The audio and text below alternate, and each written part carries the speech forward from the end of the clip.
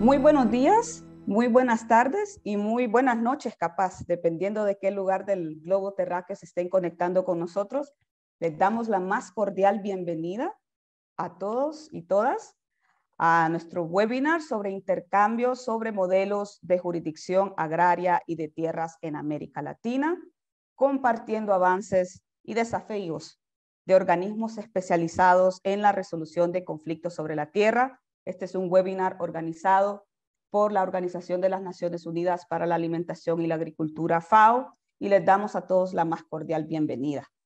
Como siempre digo, el tiempo es el recurso más escaso y valioso que tenemos todos y hay mucha competencia por nuestro tiempo y nuestra atención. Así que agradecemos muchísimo a todos ustedes que se siguen conectando por estas próximas dos horas que nos van a dar de su tiempo para escuchar y, como bien dice el nombre del evento, compartir, intercambiar experiencias sobre este importante eh, tema.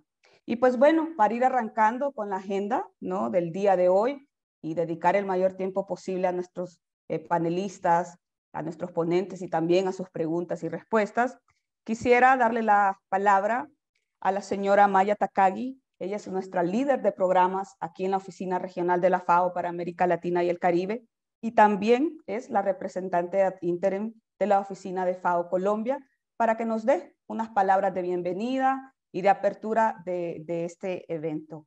Maya, muchísimas gracias de nuevo por estar con nosotros el día de hoy. Es un placer eh, poder tenerte inaugurando nuestra sesión del día de hoy. Eh, adelante, el micrófono es tuyo. Muchísimas gracias, Amparo. Eh, muy buenos días a todos y todas. Muy bienvenidos a este importante seminario, este importante intercambio que son dos días, que esperamos que sea de mucha utilidad eh, a todos los que nos asisten. ¿no? En principal, agradecer eh, eh, a este evento que busca enriquecer el diálogo e intercambio entre países de la región sobre un tema que es, se, se, concentra en el corazón del desarrollo de América Latina y el Caribe, la tenencia de la tierra. Eh, sabemos que la tenencia de la tierra ha sido históricamente acá en la región causa de muchos conflictos sociales e, y desigualdades estructurales. Eh, la tenencia de la tierra, eh, como sabemos, puede generar conflictos, pero puede generar mucho desarrollo. Y es por esto que queremos poner esto en relieve. ¿no?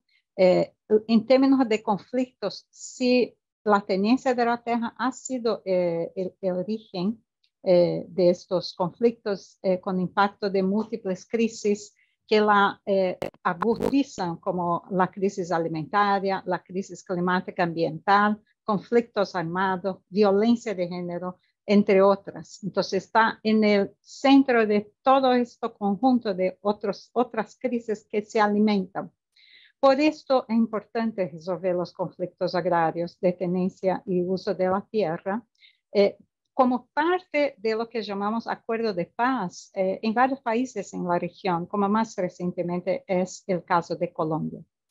Eh, como saben, la FAO ha impulsado la implementación de las directrices voluntarias sobre responsable de la tenencia de la tierra, la pesca y los bosques el contexto de la seguridad alimentaria eh, eh, los países, desde su aprobación en 2012 y hoy constituyen la única norma internacional referente en esta materia, negociada tanto por gobiernos, sociedad civil, academia y sector privado. Son exactamente estas directrices que motivan la realización de este evento que hoy nos convoca eh, porque eh, la idea es que eh, por, por intermedio de las directrices se usen recomendaciones a los gobiernos para estudiar la posibilidad de establecer, por ejemplo, tribunales u órganos especializados dedicados únicamente a dirigir las disputas sobre los derechos de tenencia. y por eso llamamos acá en este evento países que ya cuentan con la jurisdicción agraria o de tierras para compartir sus experiencias, retos, avances y recomendaciones con otros países que están en proceso de crear su propio foro especial agrario o de tierras o de mejorar el que poseen actualmente. Invito a los participantes a aprovechar al máximo los conocimientos y reflexiones que el día de hoy y mañana nos ponen cada país para que eh, compartamos sus lecciones.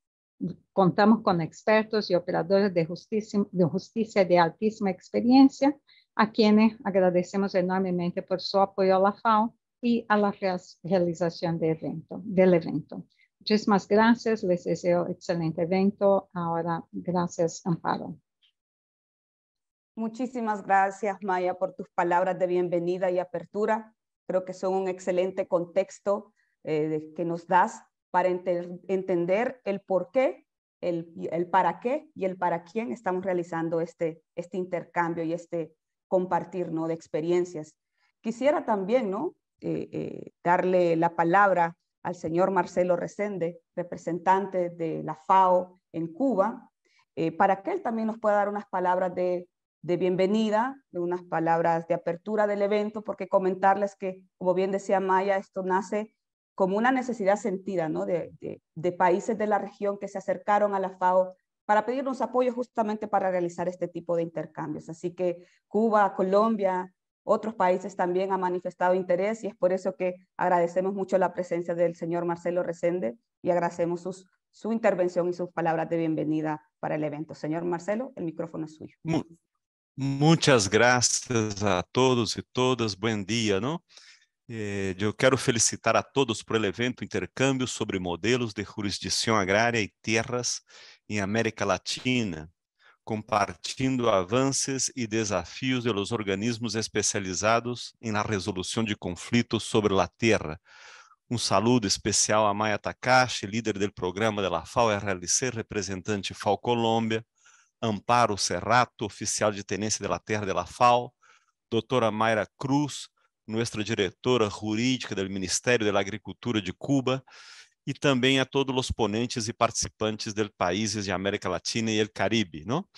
É um prazer a ser forma parte desse intercâmbio sobre modelos de jurisdição agrária da terra em América Latina, um tema de singular interesse para Cuba que elabora atualmente um anteprojeto de lei de la terra, incluindo o cronograma legislativo para sua aprovação por el Parlamento cubano em outubro do presente ano. Bueno, colegas, eu me gostaria, sabe que um tema que me encanta, que me gusta muito, é o tema da tenência de la tierra, o ordenamento fundiário ou eh, a reforma agrária. Eh, eu tive, eh, o presidente Lula me nombrou presidente do Instituto Nacional de Colonização e Reforma Agrária de Brasil eu venia do Instituto de Terras de minha província.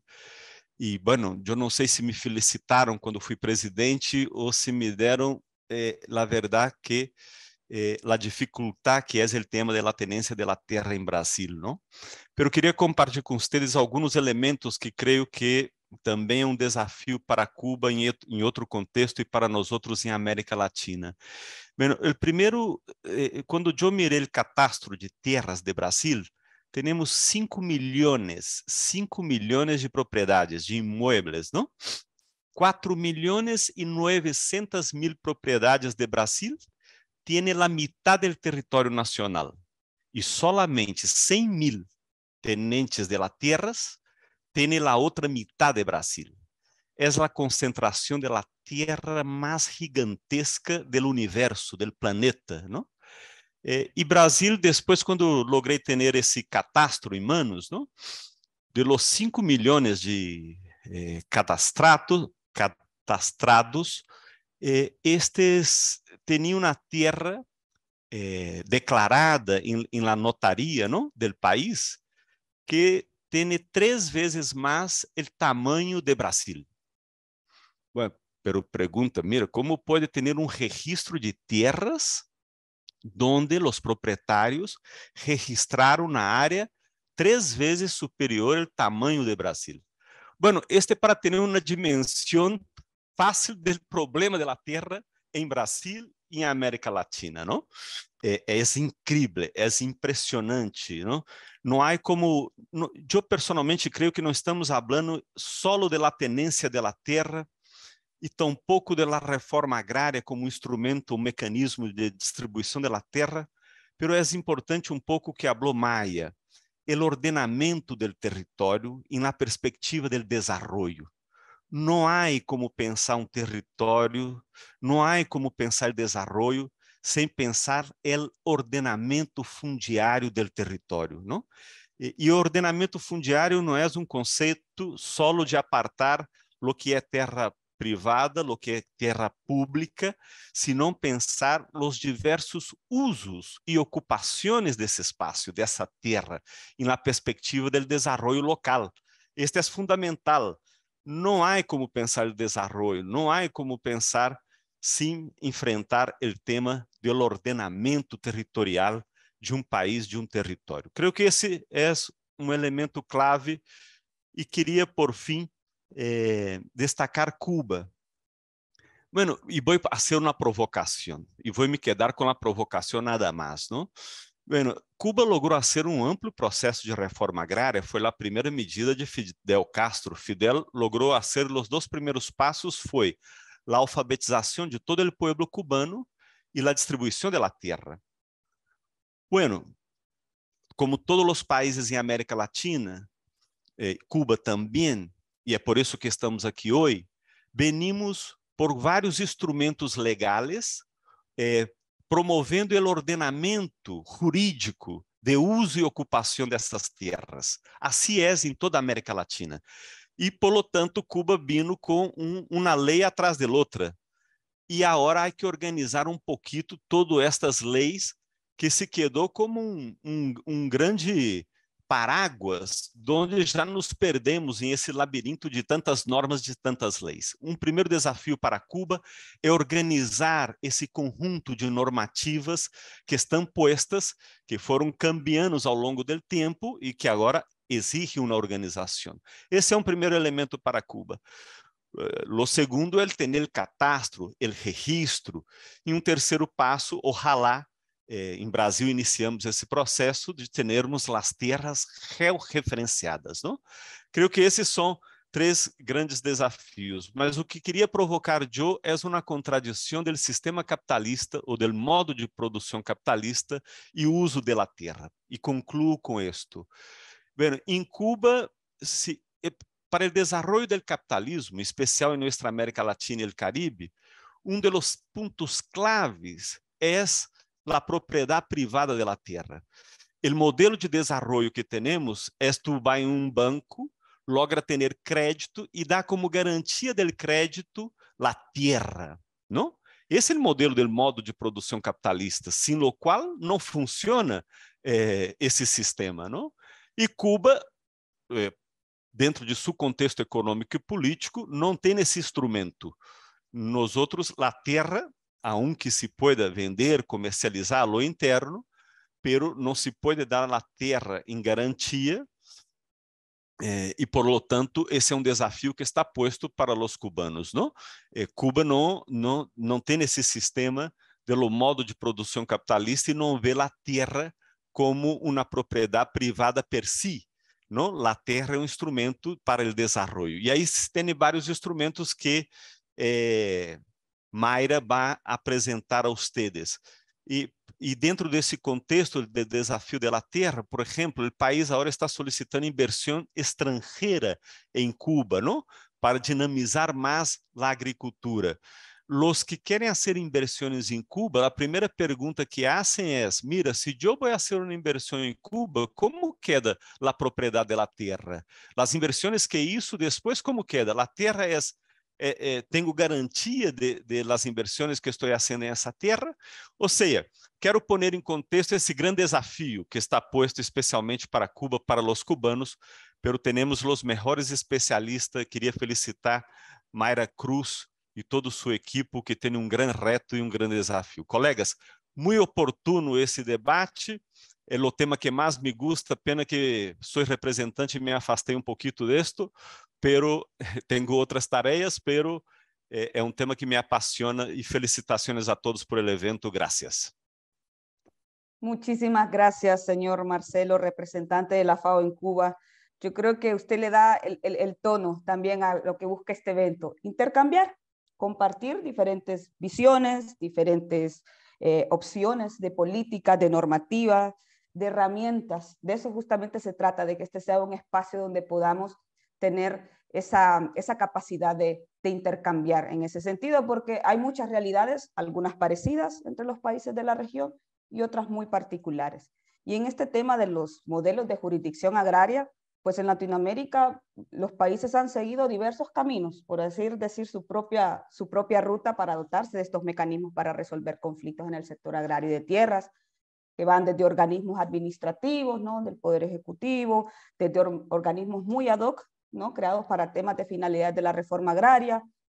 En otros, pues está, este, está, esto está bajo lo que es la, jurisdicción ordinaria civil, ¿no? los juzgados y tribunales civiles, y en otros casos, algunos otros países pues han creado jurisdicciones muy especiales, que como empezaremos a ver eh, eh, a lo largo de estos dos días, pues tienen sus particularidades. Y los invito justamente a eso, tener una mente abierta, reflexionar, aprender, a preguntar, ¿verdad? Vamos a tener un buen espacio para preguntas y respuestas. Es de esas pocas ocasiones en que vamos a tener abogados, juristas, panelistas y que las consultas no causarán honorarios. Aprovechen eso, pueden preguntar.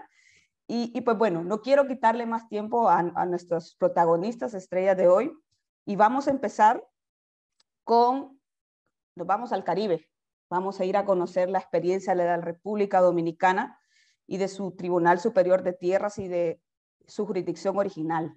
Y para ello eh, quisiera eh, eh, presentarles a los, a los dos panelistas que nos van a compartir la experiencia de este país. Primero, pues les presento al señor Jonathan Toribio Frías. Él es el administrador general del, registro inmobiliario de República Dominicana. Él es un profesional con más de 20 años de experiencia en procesos de modernización y desarrollo institucional en las áreas de justicia, de registro inmobiliario, contratación electrónica, finanzas públicas, gobierno electrónico, eh, temas sin duda de, mucha vanguardia y necesidad. Eh, eh, en la actualidad, él es ingeniero de sistemas industrial con máster en sistemas de información eh, información en integridad corporativa, transparencia, buen gobierno y, de liderazgo en, el sector público. Bueno, él ha, dirigido y colaborado en procesos de actualización de normas, planificación estratégica, modelos de gestión, evaluación, selección e implementación de soluciones tecnológicas eh, complejas. Actualmente, como les decía, se desempeña como administrador general del registro inmobiliario donde tiene a su cargo el coordinar y llevar a cabo la planificación estratégica y operativa del registro y sobre todo velar por ese trabajo coordinado entre los distintos órganos que los conforman. Va a ser muy interesante eso que nos van a compartir justamente esa estructura del registro agrario inmobiliario. Y bueno, y fue presidente de la Red Interamericana de Catastro y Registro de la Propiedad, de la que FAO pues agradecemos también, somos miembros de apoyo ¿no? a, la Red Interamericana él fue el presidente en los periodos 2021 y 2022 y agradecerle a Jonathan porque siempre, ¿no? Como, como parte de la red, pero también como parte, como administrador general de registro inmobiliario, siempre ha apoyado las iniciativas de FAO, ¿no? Que buscan mejorar la gobernanza de la tenencia en América Latina. Pues Jonathan empezará la, presentación del caso República Dominicana, pero él estará compartiendo el espacio con el eh, señor Anselmo Alejandro Bello Ferreras, él es juez de la tercera sala de la Suprema Corte de Justicia de República Dominicana. Él es doctor en Derecho, egresado de la Universidad Autónoma de Santo Domingo. Él ingresó al Poder Judicial como juez de paz en el año 2000, mucha experiencia. Es docente, doctrinario, es articulista, con vasta experiencia en materia civil e inmobiliaria. Y al momento de su designación en la Suprema Corte de Justicia en el 2019, se desempeñaba como juez presidente de la primera sala del Tribunal Superior de Tierras Departamento Central. Creo que ahí lo estamos escuchando. Bueno, él cuesta con maestrías y posgrados en metodología avanzada, eh, una maestría en Derecho Administrativo, en Gestión Municipal. Y bueno, la verdad que su currículum es muy amplio, ha publicado libros en esta materia, ¿no? Materia civil, procesal civil, eh, temas de compra-venta y, y en diversos artículos en periódicos. Así que darle la bienvenida a ambos, a Jonathan y al, magistrado Anselmo Bello. Realmente es un placer y un honor poder tenerlos en este evento. Y bueno, tendrán media hora para compartir su experiencia. Vamos a dejar la metodología es esta, que ellos terminan su presentación y al final eh, ustedes igual en el chat o en, los logos que dice abajo QA. Pueden ir escribiendo sus preguntas a medida que ellos vayan desarrollando eh, su ponencia. La colega Alejandra Vega, líder del equipo de Tendencia FAO Colombia, nos va a ayudar con la moderación de las preguntas y respuestas que ustedes vayan poniendo en el chat. Y en el caso de que alguno igual quiera levantar la manito y hacer su pregunta de manera oral, pues esperamos a que ellos terminen su presentación, levanten la manito y estaremos pendientes para darles la palabra y que puedan hacer su intervención. Así que sin más preámbulo, eh, estimado Jonathan y el magistrado Anselmo Bello, por favor, el micrófono es de ustedes. Muchas gracias de nuevo por estar acá.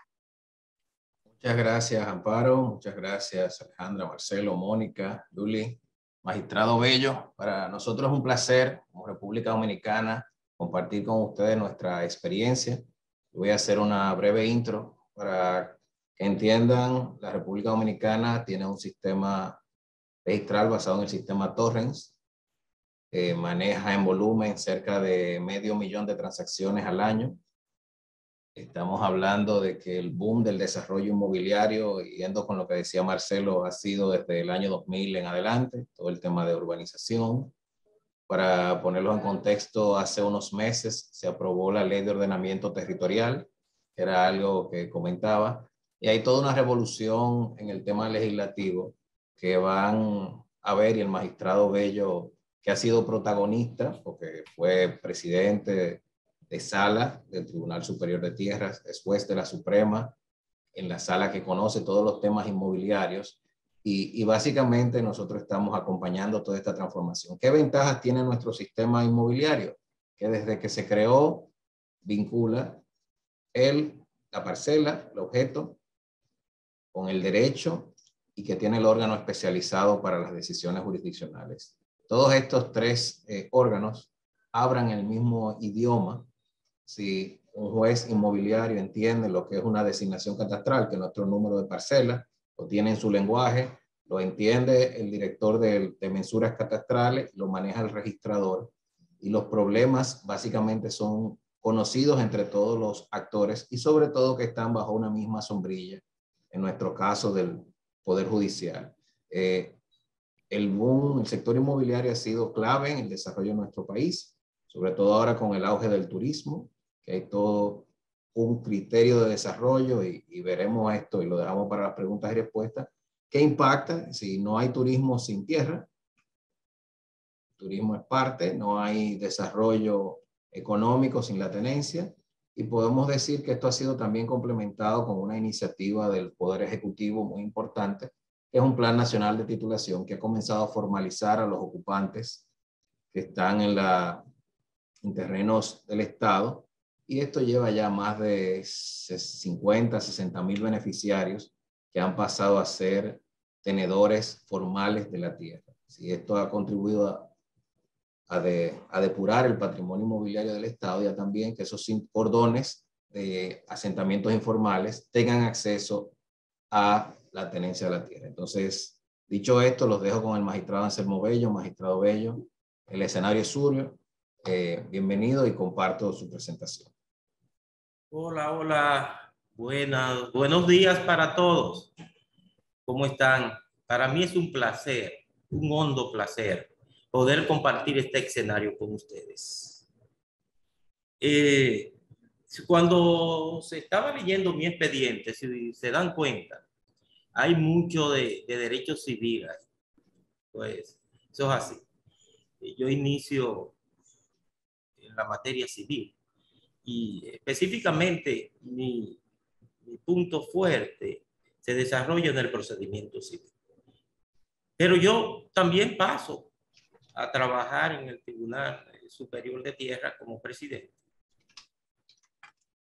Y hago este introito de, de por qué, en principio, el derecho civil y luego el derecho inmobiliario. Y es que la gran mayoría de, de, derechos eh, nuestras eh, sociedades y más lo que se desprende del derecho francés es que el derecho inmobiliario es parte del derecho civil. No ocurre entre nosotros así. En la República Dominicana hay una jurisdicción especializada, apartada del derecho civil. Y es precisamente la jurisdicción inmobiliaria donde yo estuve en mis últimos años y hoy me desenvuelvo precisamente en la tercera sala de la Suprema Corte de Justicia en el área que corresponde al derecho inmobiliario. Entonces, nosotros tenemos que explicar el sistema dominicano eh, de la propiedad inmobiliaria, de la tenencia de tierra, todos estos conflictos. No quiero iniciar la historia del, del sistema registral dominicano sin antes eh, eh, decirles a ustedes, y es una voz que yo llevo bien alta, que nuestro sistema registral hoy día eh, es lo mejor para mí, y así está demostrado, es lo mejor que funciona en, en la República Dominicana. El Poder Judicial siente un gran orgullo de ese, de ese sistema registral dominicano, porque en realidad ha ido creciendo en cuanto a eficiencia cada día que pasa. Y hoy tenemos un sistema inmobiliario muy sólido, muy sólido y eso nos ha granjeado grandes inversiones. Precisamente, ustedes saben que la República Dominicana, su mayor ingreso eh, proviene del turismo. Y para que exista una buena industria turística, debe existir también un, un gran sistema inmobiliario para que esos inversionistas internacionales puedan tener la fe y la confianza en invertir en la República Dominicana. Y eso se ha ido dando con el crecimiento del turismo en nuestro país. Bueno, voy a hacerle a ustedes un poco de historia con respecto a, nuestro sistema registral. Eh, eh, desde sus inicios, el sistema registral dominicano, como bien eh, se, establece ahí, está vinculado al Poder Judicial. Eso es desde que inició ese sistema. Nosotros empezamos con la ley 2914, que es la ley de registro y conservaduría de hipoteca, que establece el sistema ministerial francés. Eso es por allá por el 1890. Debo decirle algo a ustedes que son eh, de otros países y los que son de mi país, como Jonathan, pero mucho más joven que yo, y es bueno siempre recordarlo. Nosotros, en la República Dominicana, eh, en el siglo XX, principio del siglo XX, específicamente se inicia en el año 1916, tuvimos una intervención. Es la llamada intervención norteamericana del 16 y que se prolongó hasta el 1924, así la llama la historia dominicana. Intervención norteamericana del 16 al 24. ¿Qué ocurrió en esa intervención norteamericana? Aquí eran terrenos comuneros. Entonces los norteamericanos eh, imponen en el país una orden ejecutiva. No, no, no todo fue malo. Esa orden ejecutiva es la 511 de 1920. Mira, miren que les digo que la intervención inicia en el 16 y finaliza en el 24. Entonces en el 20 tenemos la orden ejecutiva 511. Ahí se inicia el sistema Torrens en la República Dominicana. El Estado es propietario originario de todas las tierras y la propiedad se acredita mediante un saneamiento en el Tribunal de Tierra. O sea, el Tribunal de Tierra aprueba un saneamiento a esos ocupantes y ahí se inicia eh, eh, la propiedad eh, inmobiliaria de manera particular con esa ordenanza 511. Ya luego, para el 1947, 1947, viene la famosa ley, y le digo famosa porque duró aquí años y años en, en, la República Dominicana, la 1542, la 1542, la ley de tierra. Y esa viene a recoger todos los principios de la orden ejecutiva 511 que habían dejado los norteamericanos que salen en el 24 y reafirma, esa ley reafirma entonces el sistema Torrent que establece el sistema registral que funciona a base de un tribunal especializado. Ahí se crea ahí se crea el tribunal especializado ya, el tribunal de tierras de la República eh, Dominicana. Bien, eh, ya esa ley, como les dije ahorita, la, la 1542, se prolongó por años. ¿Hasta qué año? Hasta el 2005. Imagínense, de 1947 hasta el 2005. Eh, si usted me pregunta, ¿Cuál fue la experiencia con esa ley 1542? Bueno, fue un gran paso de avance, pero esto causó también muchos conflictos, muchos problemas. Ahorita en la introducción oía detenidamente a uno de los expositores, de los participantes, hablar de, de, cómo eh, se registran inmensidades de tierra, por ejemplo, que no existen o cómo se extrapolan esos registros. Bueno, eso pasó mucho aquí, aquí hubo mucho solapamiento, hubo registro uno sobre otro, eh, el asunto de las cartas constancias, eso facilitó que personas se ubicaran donde entendían que le favorecía más. Bueno, con la ley 108-05 viene ya a corregirse eso. Este, esta pieza legislativa de registro inmobiliario, como les llevo dicho, la 10805, en la pieza legislativa surge bajo la necesidad precisamente eh, de reformar un obsoleto y desordenado régimen de tierra, ya como les dije con la, con la anterior ley 1542. Eh, eh, el propósito era precisamente adecuar las exigencias jurídicas al siglo XXI. No podíamos seguir con ese desorden, era un desorden. Aquí yo tengo una anécdota muy buena y es que cuando yo empecé a ejercer, que me gradué de, de Derecho, eh, comencé a ganar ya, eh, eh, como dicen en República Dominicana, ciertos menudos, ciertos chelitos, y alguien me recomendó que comprara un, un pedazo de, de, tierra, lo que aquí llamamos un solar, y lo compré en las afueras de, de la capital de Santo Domingo, creo que con 300 metros, 250 metros. Y poco tiempo después, el que, me, el que me animó a comprar el solar me dijo, vamos a ver el solar. Y cuando fuimos, ahí había todo un barrio ya, ahí había crecido toda una población. Yo tengo un certificado de título en las manos que me acredita como propietario de esos 250, 300 metros. Y entonces nos montamos en algo alto y me dice, allá donde se ve ese techo rojo, ahí era que estaba el solar tuyo. Yo digo, ¿cómo que estaba? Sí, oye, estaba invadido ya estaba ocupado, aquí no se respetaba la propiedad inmobiliaria. Entonces, nadie va a ir a invertir a una sociedad donde eh, no existan las garantías jurídicas para la propiedad inmobiliaria. Eso fue un, un desorden terrible. Bueno, ya con, con la ley 10805 y todos los reglamentos que la complementan, eso ha ido cediendo. Yo le comentaba a alguien en estos días, mira, en estos últimos tiempos, las invasiones se han disminuido, a su, han sido llevadas a su mínima expresión. No es que no se hagan, pero ya es muy poca porque ya no, encuentran caja de resonancia, ya no hay vasija donde sostener ese tipo de, de actuaciones que atentan contra la propiedad privada.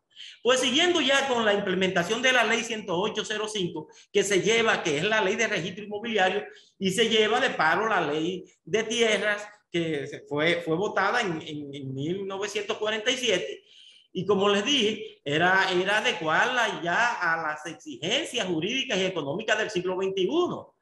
Y, y, tenía como objetivo adicional de judicializar los aspectos administrativos, incorporar la técnica de folio real y controlar y reducir las cartas constancia. Cuando habla de judicializar los procesos administrativos, aquí todo se llevaba al tribunal cosas sencillas, cosas simples. Todo tenía que conocerse eh, de manera jurisdiccional, llevarla al tribunal y ahí eso duraba tiempos y tiempos y tiempos. Entonces, ya hay cosas aquí que se hacen en sede administrativa. Y, y yo tengo una, una, experiencia con esa jurisdicción inmobiliaria. Eh, ustedes saben que hay un derecho administrativo, que es el que se encarga precisamente de la relación del Estado con los particulares y esa jurisdicción es, específica. Sin embargo, sin embargo, nosotros en la jurisdicción inmobiliaria tenemos también un aspecto esencialmente administrativo que, que viene con la ley 10805. Y por eso vamos a tener nosotros, y ahorita se lo voy a comentar cuando yo entre a evaluar la, la, la, la competencia de los tribunales de tierra, tanto de jurisdicción original como del Tribunal Superior de Tierra, eh, tenemos que, que allá se llevan eh, resoluciones dictadas por los registradores de título. Se judicializan cuando un registrador de título eh, a través de, un, de, un, de, una, de una resolución rechaza eh, el asentamiento de determinados registros, hay unos recursos administrativos, tanto de reconsideración como jerárquicos, y que luego terminan ante el Tribunal Superior de Tierra para ser conocido. Es decir, que también esta ley nos trae ya aspectos administrativos que muchos especialistas en la materia administrativa a veces me atacan aquí y me dicen, bello, pero que eso hay que sacarlo de, de los tribunales de, tierra para llevarlo. Yo no, es que ha funcionado, ha funcionado, pero además es algo que yo he defendido. ¿Por qué? ¿Cómo usted va a llevar, por muy administrativo que sea el proceso, usted lo va a llevar a donde jueces que no manejan la técnica registrada? Déjeselo a esos jueces que son los que conocen de esa materia y además van a agilizar la solución de esos actos administrativos. Eso se da ahora anteriormente, todo se judicializaba. Ahora no, ahora tenemos fases administrativas que ayudan a que esos procesos sean más ligeros y sean más expeditos y eso obviamente se traduce en una mayor eficiencia. Bien, con la creación de, de, de, este establecido un nuevo modelo de organización donde se especializan las funciones jurisdiccionales, las de mensura catastral, las registrales, estableciendo órganos de igual jerarquía, pero independientes. Es decir, que ahora nosotros en la ley, con la ley 108-105, tenemos los tribunales, pero también tenemos una dirección de registro, todo eh, horizontal, pero tenemos también la, dirección de mensura catastral y tenemos la administración, que es lo que obviamente Jonathan eh, ejerce en esa eh, jurisdicción inmobiliaria. Entonces, eh, con esta ley, con esta ley y estos órganos quedaron supeditados a la autoridad administrativa y jurisdiccional eh, de la Suprema Corte de Justicia. Y, y, tengo que hacer una corrección ahí en el material. No es verdad que, que la jurisdicción administrativa ya está a cargo de la Suprema Corte de Justicia. ¿Qué pasó? Si eso era cierto antes de 2010. Antes de 2010. La Suprema Corte arropaba todo. En el Poder Judicial, para, para explicarles a ustedes, en el Poder Judicial la Suprema Corte manejaba tanto el aspecto jurisdiccional como el aspecto administrativo. La administración del Poder Judicial estaba a cargo de la Suprema Corte, pero también, obviamente, los jurisdiccionales. Bien, a partir de la reforma constitucional de 2010, eh, el, constituyente divide eh, esos poderes, le deja el aspecto jurisdiccional a la Suprema Corte de Justicia y transfiere, crea un órgano, crea un órgano que es el Consejo del Poder Judicial y le asigna, ese Consejo del Poder Judicial le asigna todos los aspectos administrativos. Por tanto, hoy la Suprema Corte de Justicia nada más tiene las funciones eh, eh, jurisdiccionales. Eh, y ahí lo dice en el segundo párrafo. Luego de la Constitución de 2010, la función administrativa pasó a ser ejercida por el Consejo del Poder Judicial, que es lo que acabo yo de, de decir. Vamos a ver entonces la situación, la situación actual y la Suprema Corte de Justicia, como les dije. En la actualidad, los aspectos inmobiliarios, la Suprema Corte de Justicia mantiene la siguiente facultad en lo que se refiere a los aspectos puramente inmobiliarios, porque tiene otras funciones ya en otras materias. Eh, Corte de Casación, con una sala especializada que es la tercera sala, que trabaja los aspectos inmobiliarios. A esa sala pertenezco yo y soy quien me encargo precisamente de trabajar esencialmente los aspectos inmobiliarios que llegan a la tercera sala. Y ustedes preguntarán, ¿y cómo llegan esos aspectos inmobiliarios a la tercera sala? Llegan eh, como recurso de casación contra sentencias dictadas por los tribunales superiores, que ahorita vamos a ver ese desglose. Así conoce la tercera sala de la Suprema Corte de Justicia los recursos de casación que son incoados contra sentencias dictadas por los tribunales superiores a propósito de, la de las litis sobre terrenos registrados que se suscitan en la jurisdicción inmobiliaria. Ya el último, el último eslabón lo tiene la Suprema Corte de Justicia para decidir si la ley ha sido bien o mal aplicada por los tribunales del orden inferior.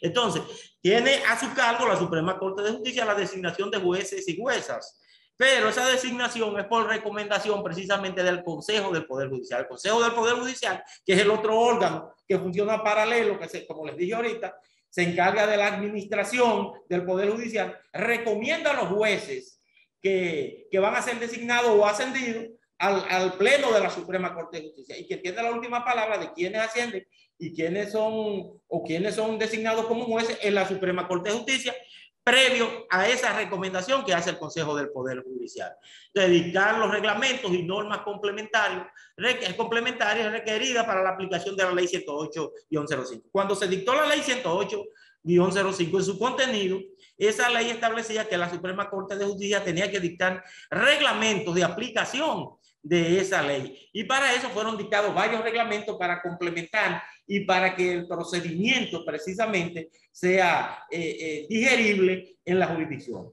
Uno de los puntos eh, más luminosos que tiene la ley es que deja al procedimiento civil como el procedimiento supletorio para aquellos vacíos que se produzcan en la ley, así ha funcionado precisamente.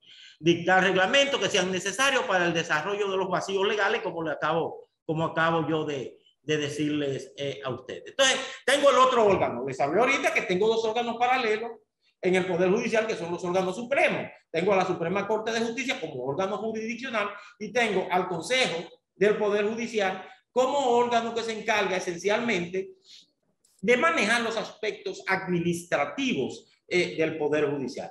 Entonces, aquí lo dice claramente en, la, en, en, la, en lo que estamos publicando ahí, le estamos pasando. Eh, en el aspecto inmobiliario, la administración financiera y presupuestaria se encarga ese poder, eh, eh, el Consejo del Poder Judicial.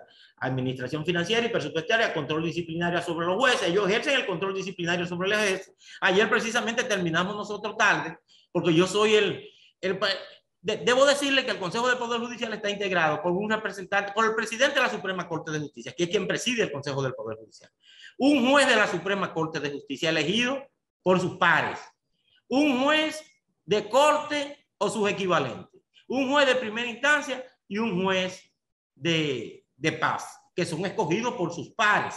Entonces, Ayer precisamente terminé tarde aquí, terminé un poco cansado porque estábamos conociendo, a propósito de que veo aquí el control disciplinario que está a cargo del Consejo del Poder Judicial, yo que eh, eh, estoy ejerciendo las funciones de suplente en el Consejo del Poder Judicial, estábamos conociendo precisamente juicios disciplinarios a jueces precisamente de la jurisdicción inmobiliaria, que son quejas de usuarios o quejas de, de, de instituciones, de bancos, que tienen muchos intereses contra jueces y si el Consejo, una vez valorado, tiene una, una, inspectoría que es quien valora las pruebas que someten y se entiende que existen suficientes indicios para que se conozca un juicio disciplinario, entonces apodera al Consejo del Poder Judicial. Y en eso estábamos ayer conociendo precisamente eh, eh, acusaciones que se han realizado eh, respecto a jueces de la jurisdicción inmobiliaria de, de, corrupción y otros, y otros aspectos reñidos con, con la norma.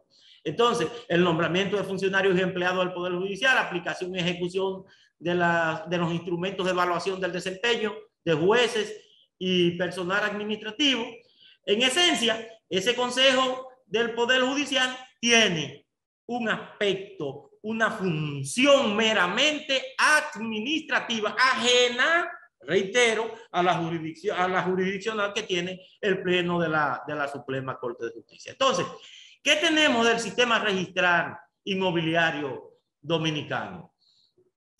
Eh, yo no quiero que se me olvide comentarle algo. La República Dominicana ahora mismo está inmersa en la creación de un ministerio, un ministerio muy particular. ¿Cuál es ese ministerio? El Ministerio de Justicia. Nosotros no tenemos Ministerio de Justicia. Nosotros tenemos al Ministerio Público que está dirigido por el Procurador General, encabezado por el Procurador General de la República. Hoy tenemos una digna mujer que dirige esa, ese, ese poder, vamos a llamarle así, eh, la Procuraduría General de la República. Pero ¿qué pasa?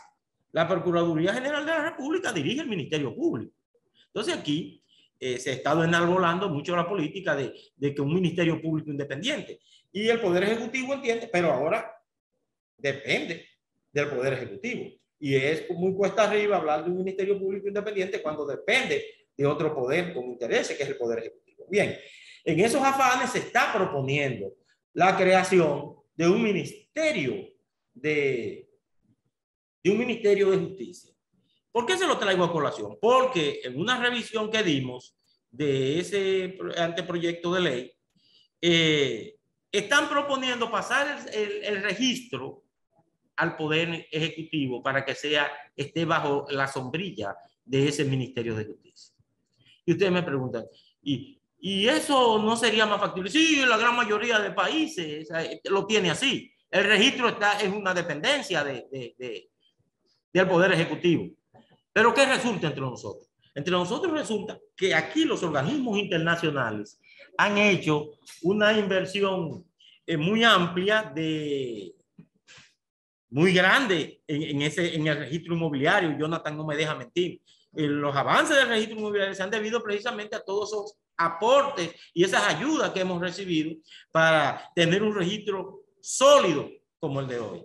Entonces, eh, mi, mi, queja fue, pero que el registro como dependencia del Poder Judicial ha funcionado.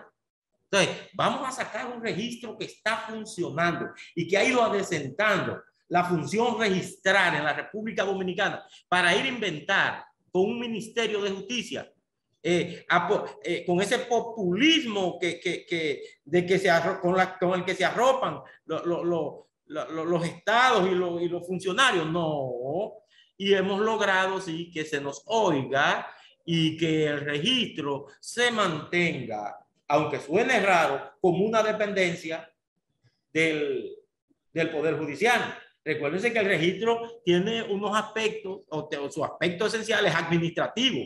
Y, y, y, choca mucho, a mucha gente le choca que el registro inmobiliario de la República Dominicana sea una dependencia de, del, del, Poder Judicial. Pero es así, la ley 108 lo recoge y, se, y ha sido bien afianzado con los reglamentos que se han dictado.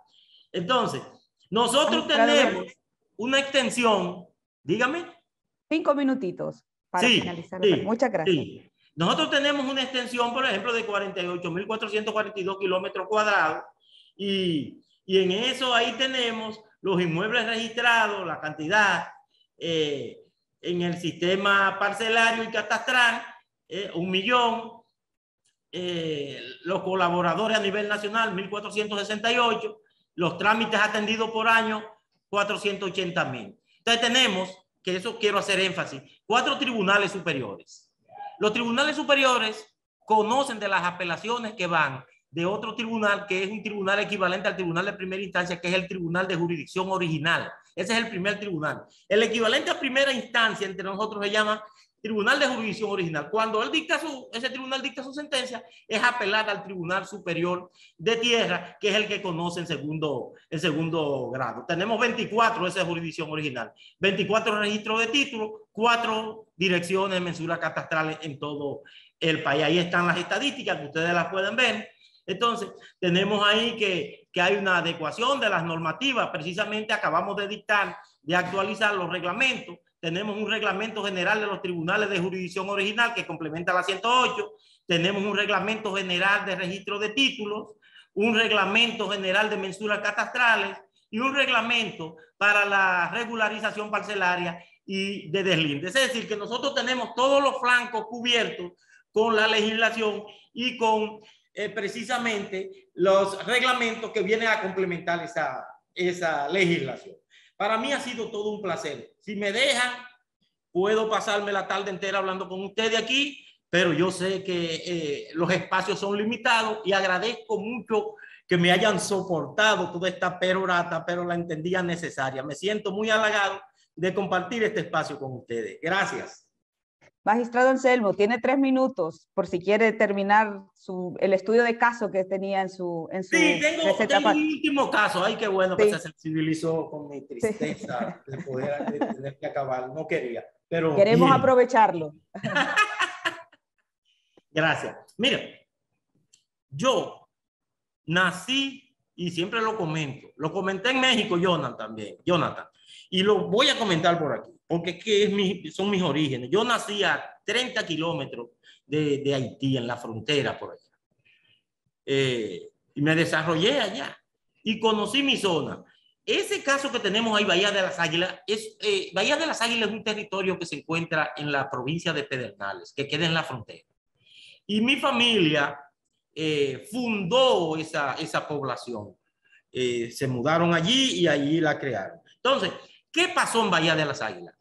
En el año 1992, un director de... Nosotros tenemos un instituto que se llama Instituto Agrario Dominicano, que se encarga de la reforma agraria en la República Dominicana. Así se llama, Instituto Agrario Dominicano, IAD, que su función es la reforma agraria. Pues ahí lo que hay son terrenos, ahí lo que hay es playa. Bahía de las Águilas es la playa más hermosa que tiene la República Dominicana. Y cuidado, si no más allá. Es una playa hermosa, una playa virgen que nadie la había tocado. Pues un director del IAD, del Instituto Agrario Dominicano, se inventó hacer un régimen eh, parcelario allí, aplicar la reforma agraria allí y repartió, comenzó a repartir grandes extensiones de tierra. Oiga, ¿qué reforma agraria? Grandes extensiones de tierra a personas con ciertos nombres y personas adineradas en la República Dominicana.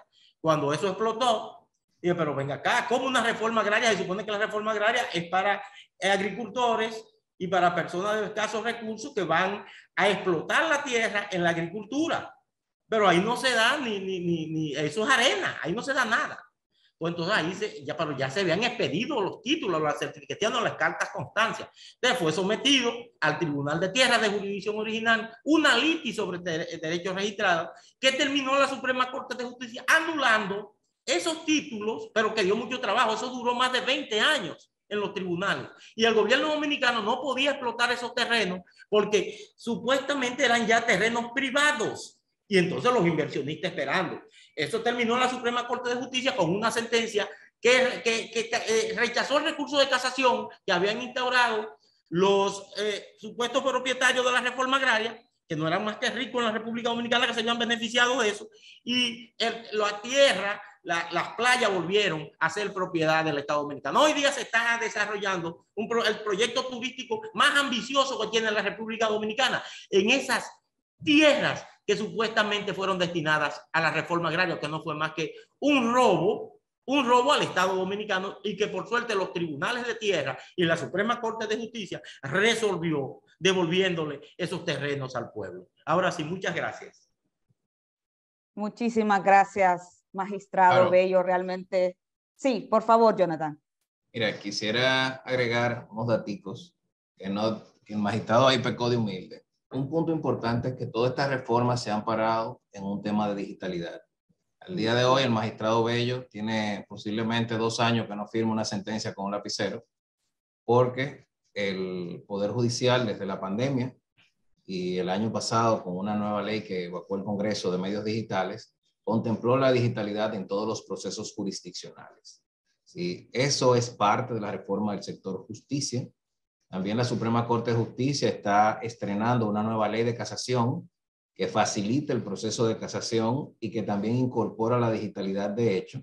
Y esos reglamentos que decía el magistrado Bello que promulgamos actualizados se publicaron el año pasado también contemplan todo el tema del libro digital. Entonces, todo el sector inmobiliario tiene, prevé en su marco legal libros digitales planos digitales y sentencias, decisiones evacuadas por los tribunales que son digitales por naturaleza.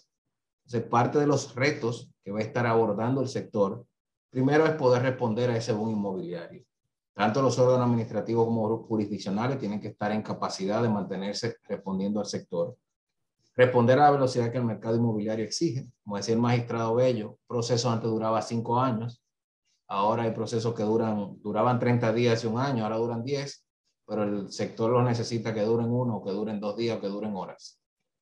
Y todo ese reto de la implementación de la digitalidad. Si eso es un reto, estamos envueltos en ese proceso de implementación de la nueva ley de casación, de la nueva ley de medios digitales, que va a contemplar todo el tema de audiencias digitales, firma electrónica, y es un proceso, un reto muy interesante que va a estar viviendo la República Dominicana. Quería no dejar de cerrar estas ideas y bueno, Gracias, magistrado Bello, por, por su experiencia y Amparo, gracias a ustedes por la oportunidad. Esperamos que haya sido de provecho. Muchísimas gracias.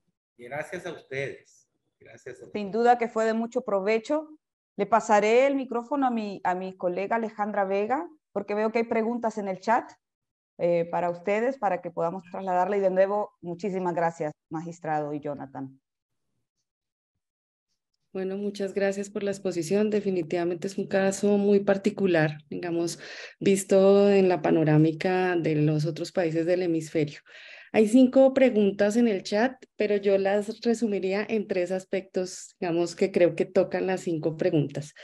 La primera y segunda y tercera pregunta tiene que ver eh, con qué pasó con los pueblos originarios y cómo es la propiedad comunal o colectiva, si todavía existe en República Dominicana, pues que no la podemos, digamos, inferir de la presentación, pero cómo juegan eh, los derechos colectivos con estos derechos inmobiliarios. Ese es el primer bloque.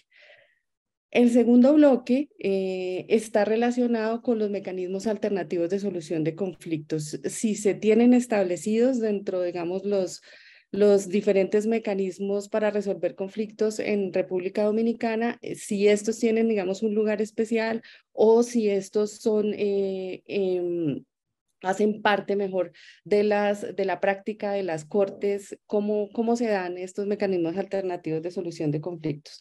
Y la tercera, el tercer bloque, eh, tiene que ver con la distribución de tierras para hombres y mujeres, si ustedes tienen algunas cifras desagregadas o si hay algunos mecanismos especiales que permitan el acceso de las mujeres a la tierra.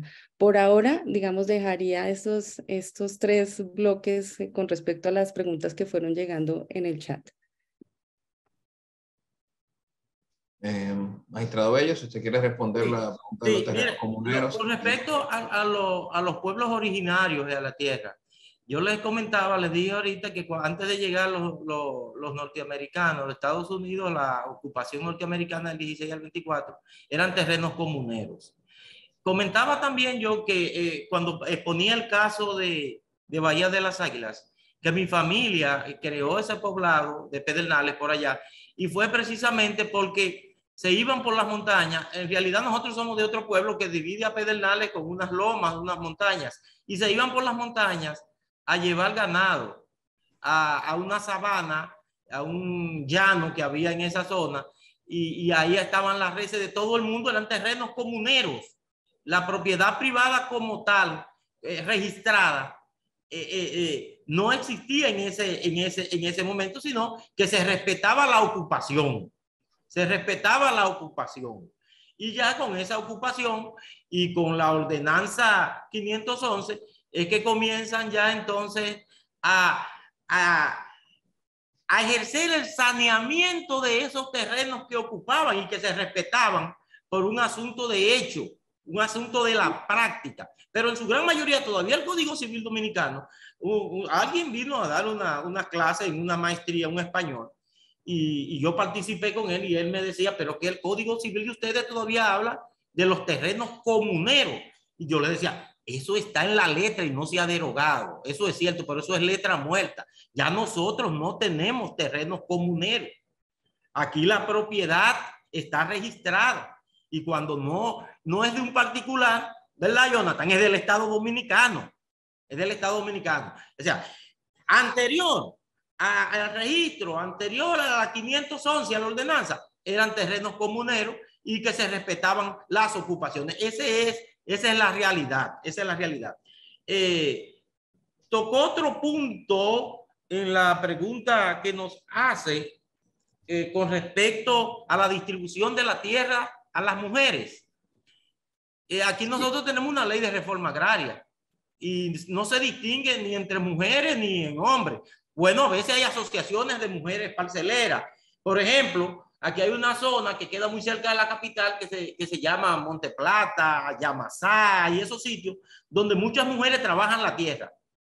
Muchas mujeres y en asociaciones, en muchos terrenos de esos estados son asignados a esas asociaciones de mujeres, pero eso no es muy común en la sociedad dominicana. Tengo que serle muy sincero. Eso se da de manera aislada en alguna zona donde hay mujeres que trabajan la tierra. En la República Dominicana no es muy común ver mujeres trabajando eh, la tierra. Ahora, nosotros tuvimos, eh, eh, desde el régimen del dictador Trujillo, un, una industria azucarera que tenía una gran extensión de, terreno en la República Dominicana. Se llama Bersea, Consejo Estatal de la, del Azúcar.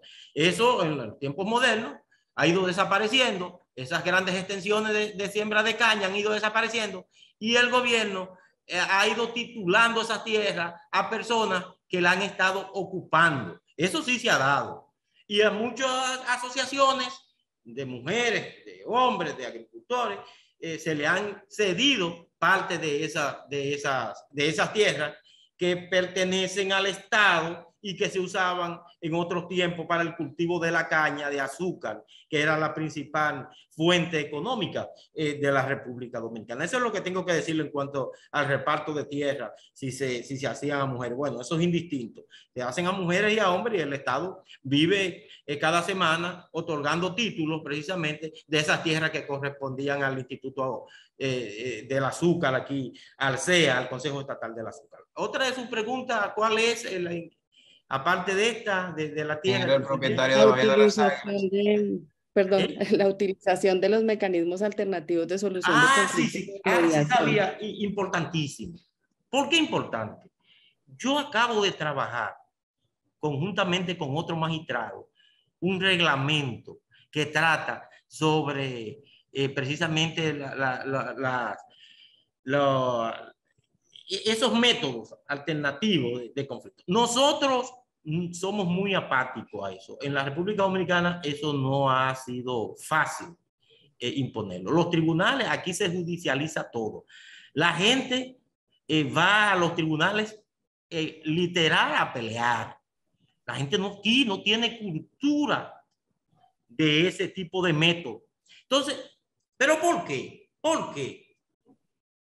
Porque aquí se han hecho, en las leyes son muy pocas. Por ejemplo, en materia laboral está, pero si usted me pregunta, ¿y qué es lo que se hace en materia laboral? En materia laboral sientan a un señor que pertenece al Ministerio de Trabajo y cuando las partes van les pregunta muy lacónicamente, ¿ustedes quieren irse eh, eh, eh, a un método alternativo de conflicto, solucionar esto por la vía de, de, de esos métodos o quieren seguir? Pero él no insiste, no, no, no, y se cierra esa fase. Entonces nosotros hemos trabajado y ya está circulando, está para, para conocimiento de los diferentes sectores de la República Dominicana, un reglamento que recoge ese tipo de, de alternativas y que yo creo que sí que va a dar mucho, mucha, eh, muy, eh, va a venir a beneficiar eh, al sistema porque va a descongestionar el sistema judicial, porque aquí cualquier cosa va a los tribunales, cosas que usted dice, ¿qué hace esto aquí? Si esto se puede resolver, entre las partes fuera, ¿eh? con un justo componedor o, de otra manera que no sea judicializando. En materia de tierra, por ejemplo, eh, hay que tener mucho cuidado, sí, y lo estamos incluyendo, incluimos todas las materias.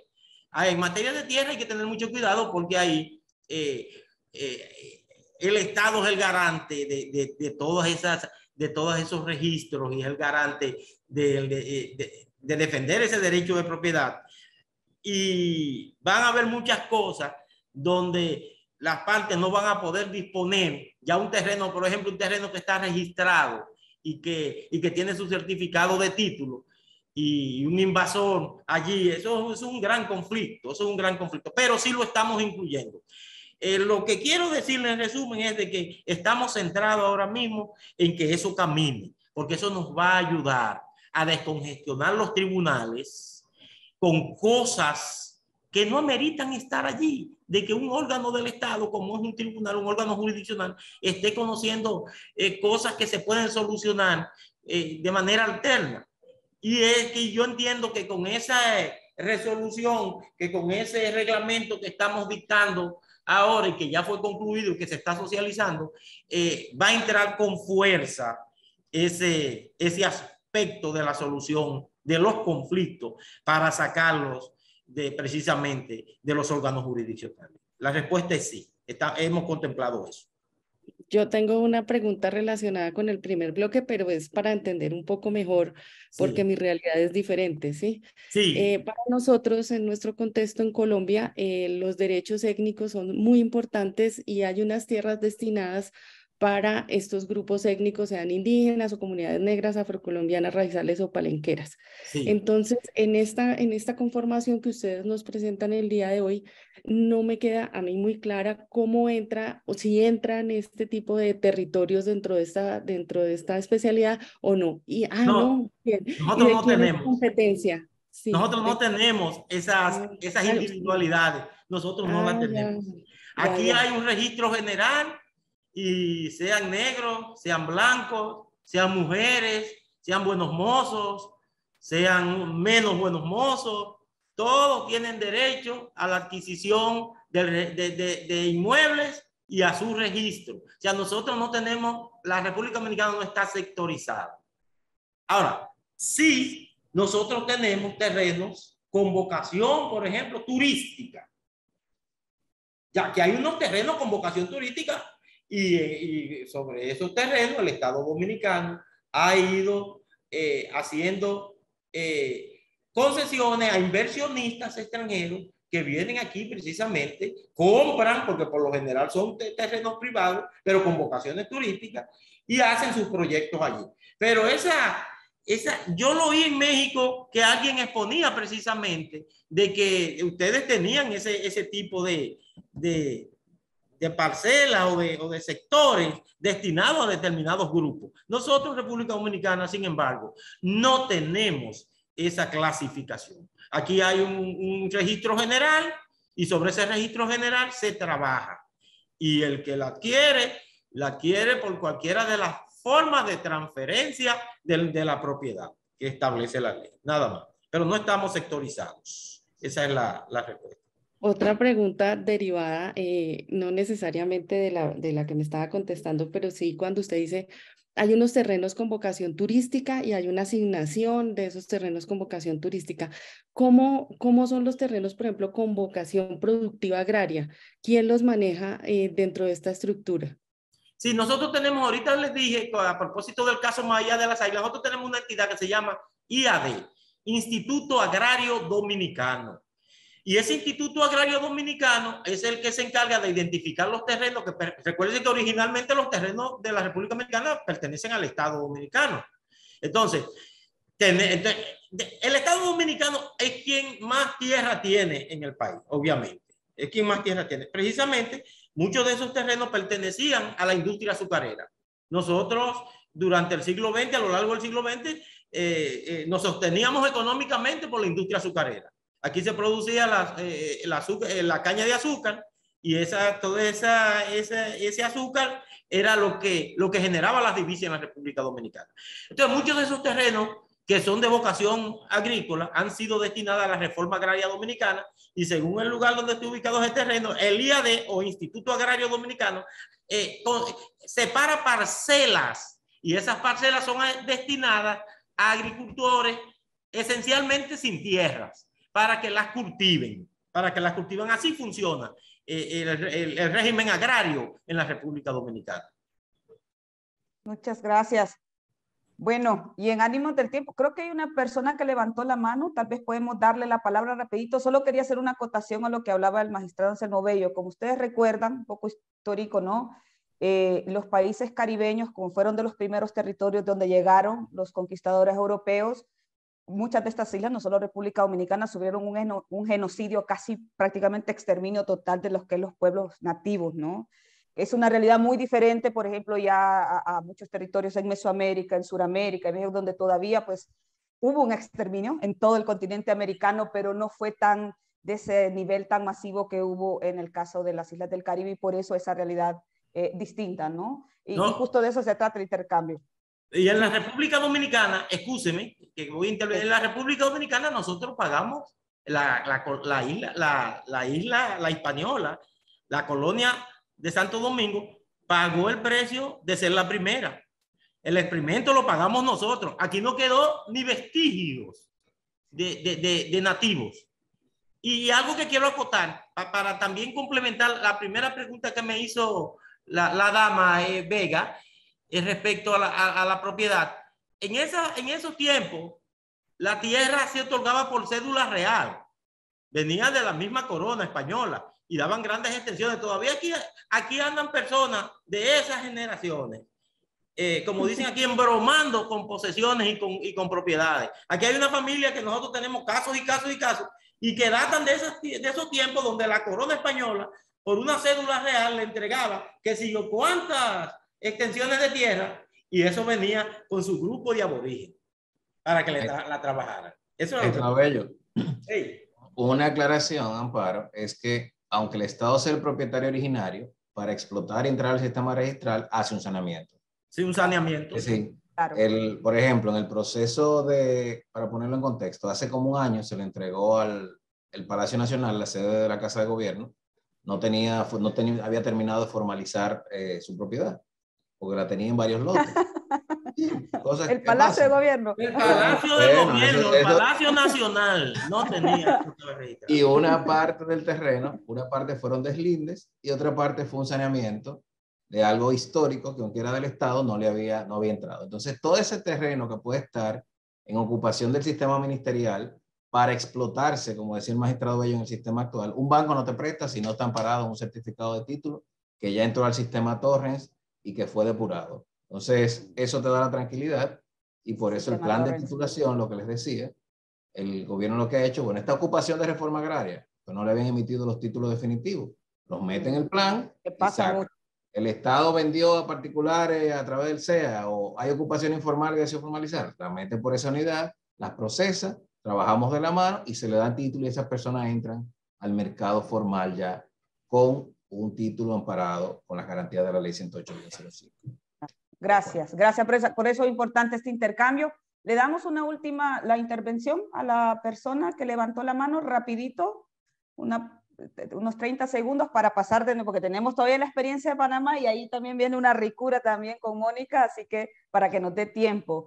Eh, vamos a ver la persona, luego vamos a, poder, por favor, si se presenta, uh, Julie, ¿puedes tú habilitar a la persona para que pueda,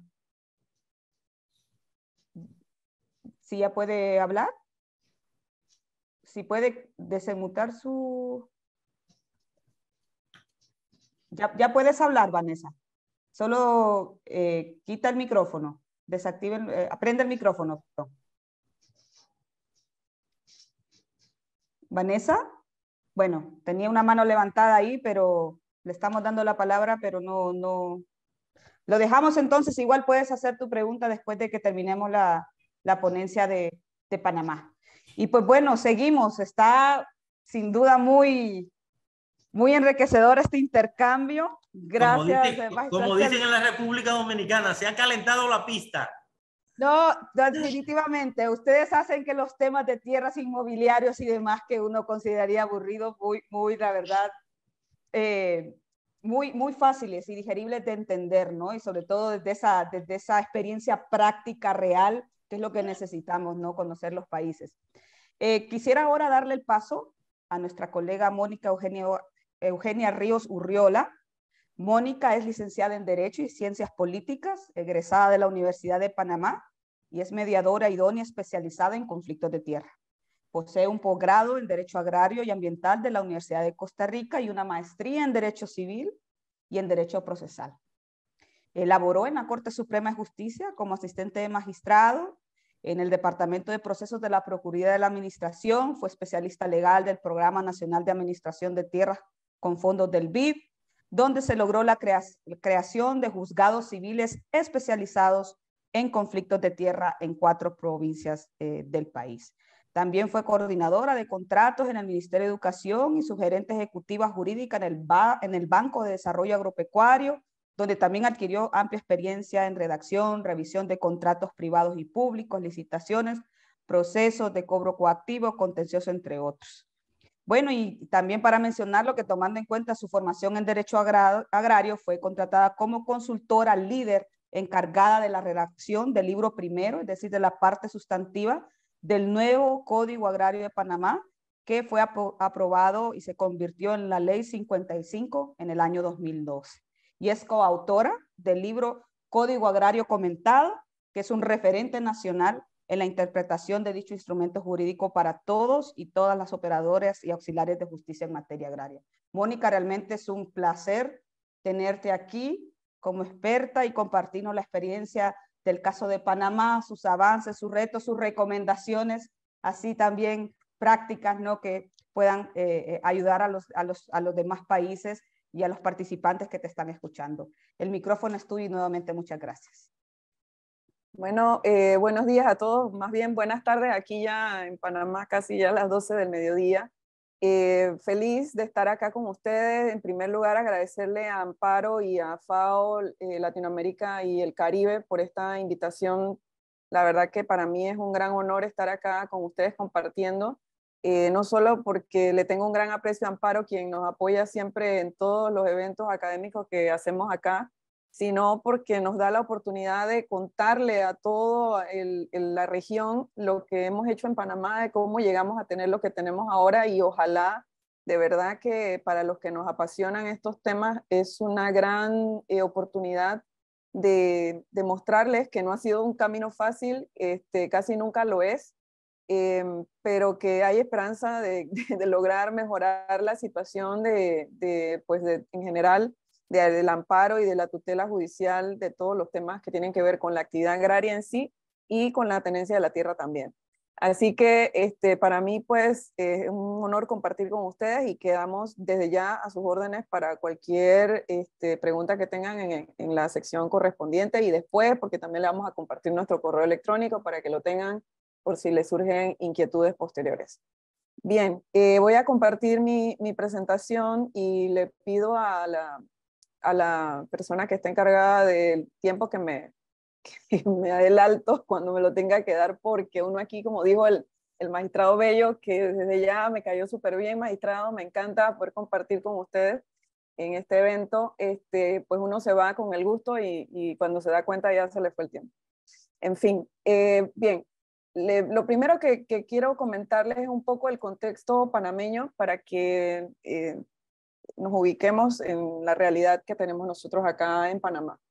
Panamá, como ustedes saben, es una economía de servicios por excelencia, por nuestra posición geográfica, estamos, como quien dice, llamados a, eso, ¿no? Tenemos los, temas, los sistemas de puertos que funcionan eh, de manera ligada con el canal de Panamá y todo el tema logístico para nosotros es como clave número uno, siempre ha sido el fundamento de nuestra economía.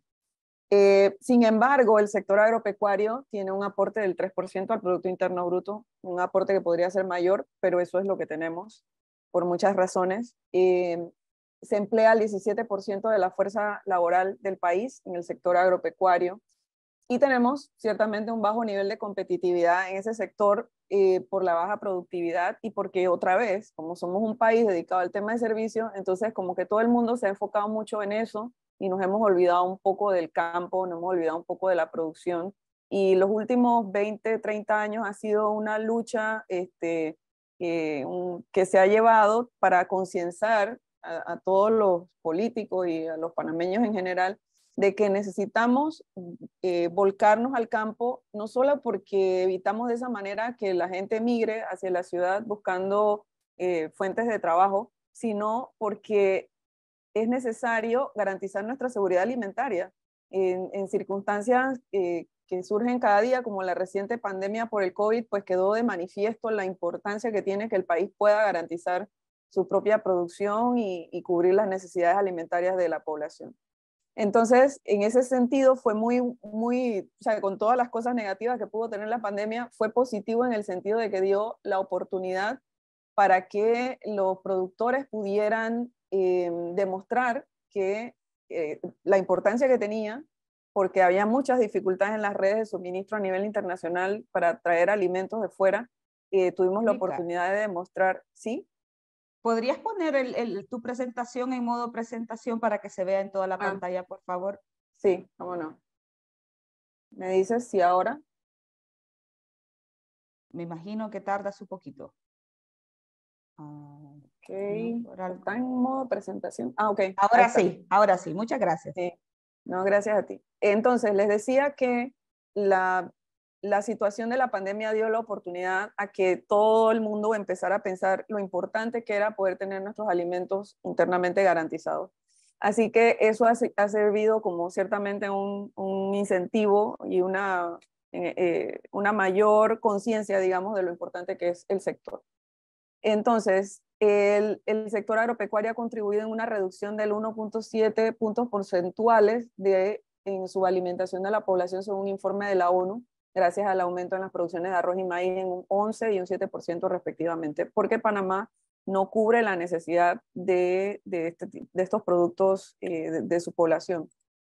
Entonces, otra cosa que quería este, empezar comentándoles es que desde el año 1972, en, nuestra constitución política de ese año, que fue una constitución que surgió a raíz de un régimen militar, eh, del régimen del general Torrijos, en esa constitución se incluyó en el artículo 117 la eh, obligación para el Estado de crear una jurisdicción agraria. Eh, básicamente el artículo era muy, muy muy corto en el sentido de que simplemente decía que se establecía la jurisdicción agraria y que la ley tenía que determinar la organización y, función de los tribunales.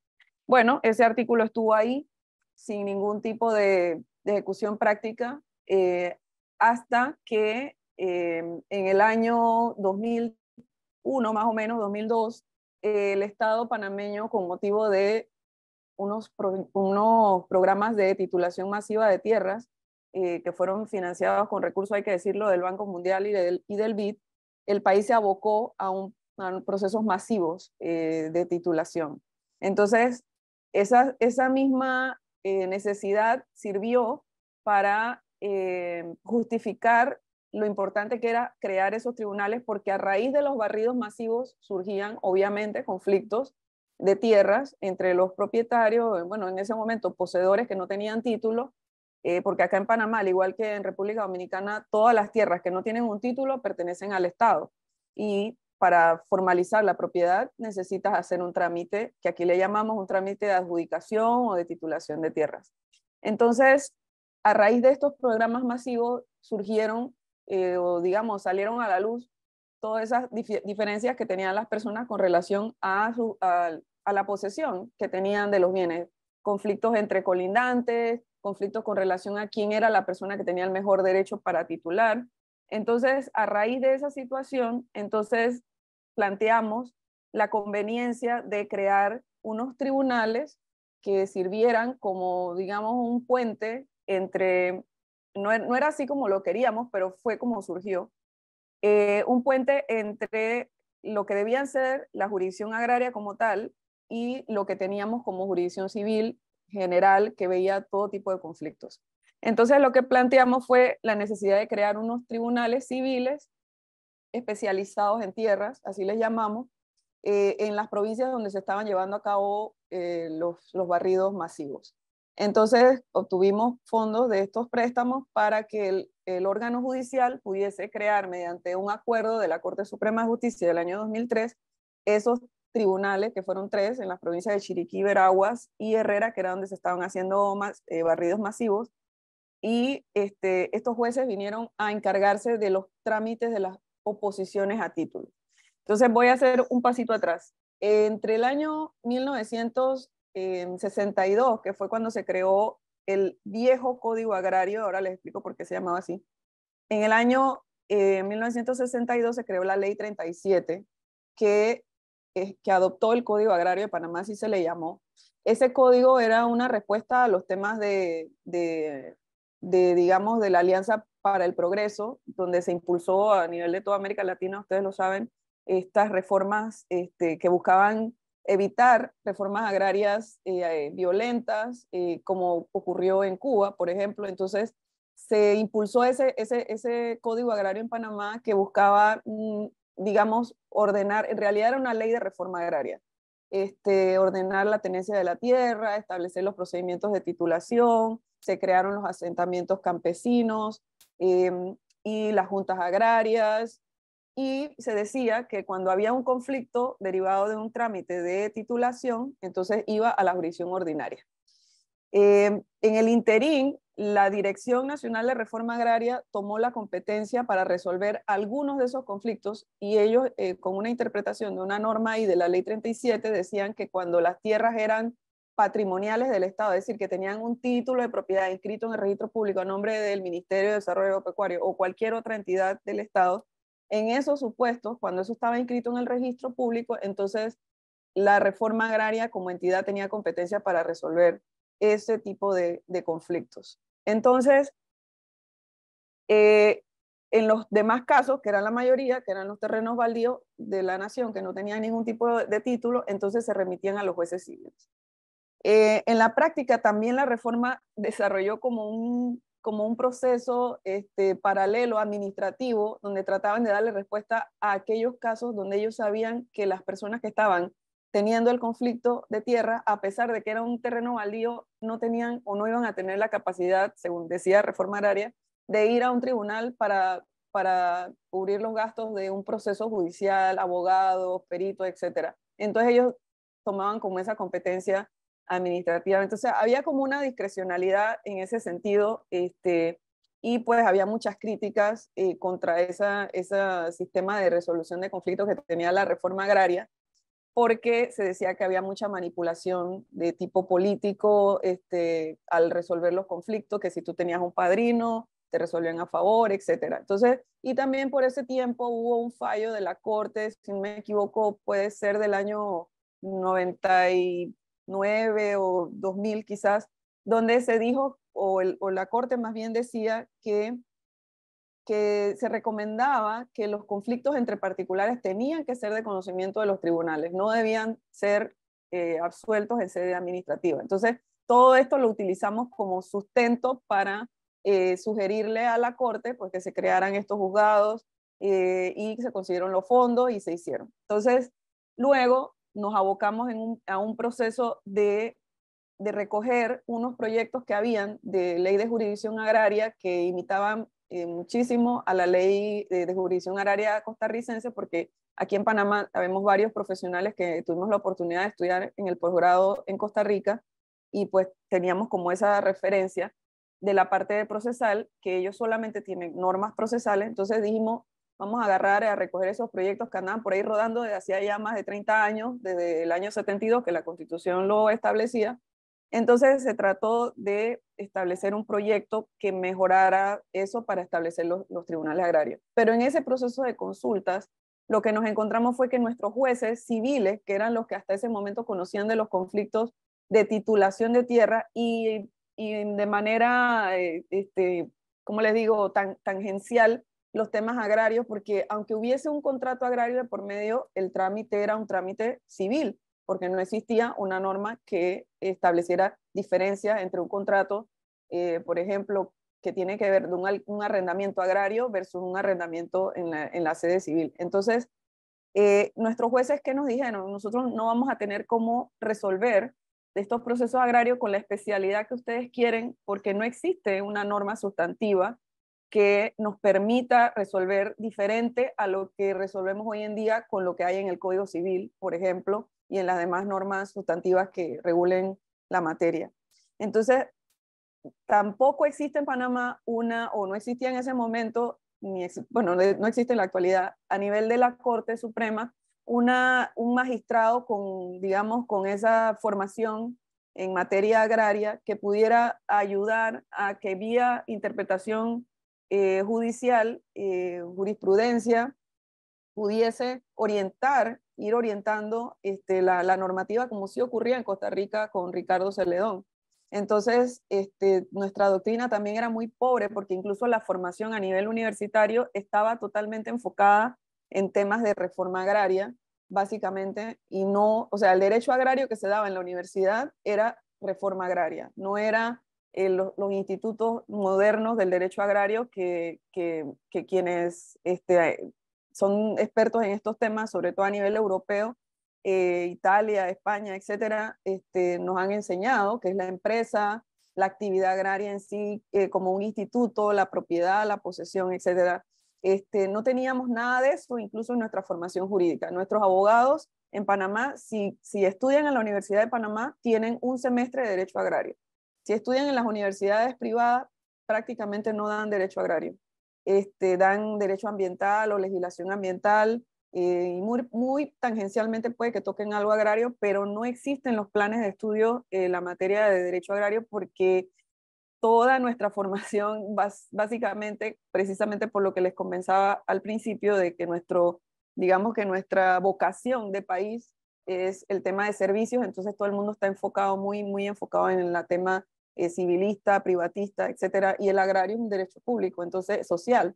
Entonces, este, no se ha profundizado mucho, excepto, como les decía, en la Universidad de Panamá, que es donde se da pues, esta, esta materia.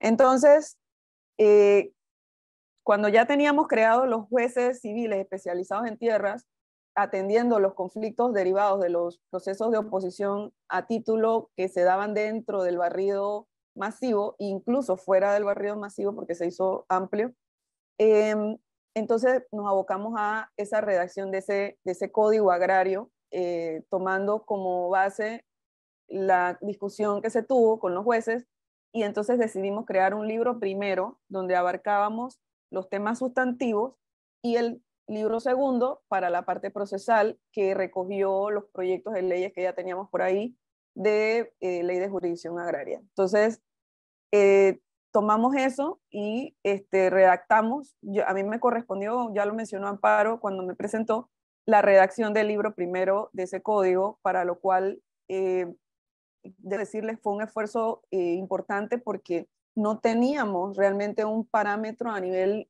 eh, regional, ni siquiera este, a nivel europeo, donde, donde existe una experiencia de recoger en un solo instrumento legal todos esos institutos y tratar de de hacerlos digeribles, comprensibles, eh, para, para que los jueces a la hora de resolver los conflictos tengan esa herramienta que necesitamos para garantizar la protección de la actividad agraria, que es el corazón de nuestro código.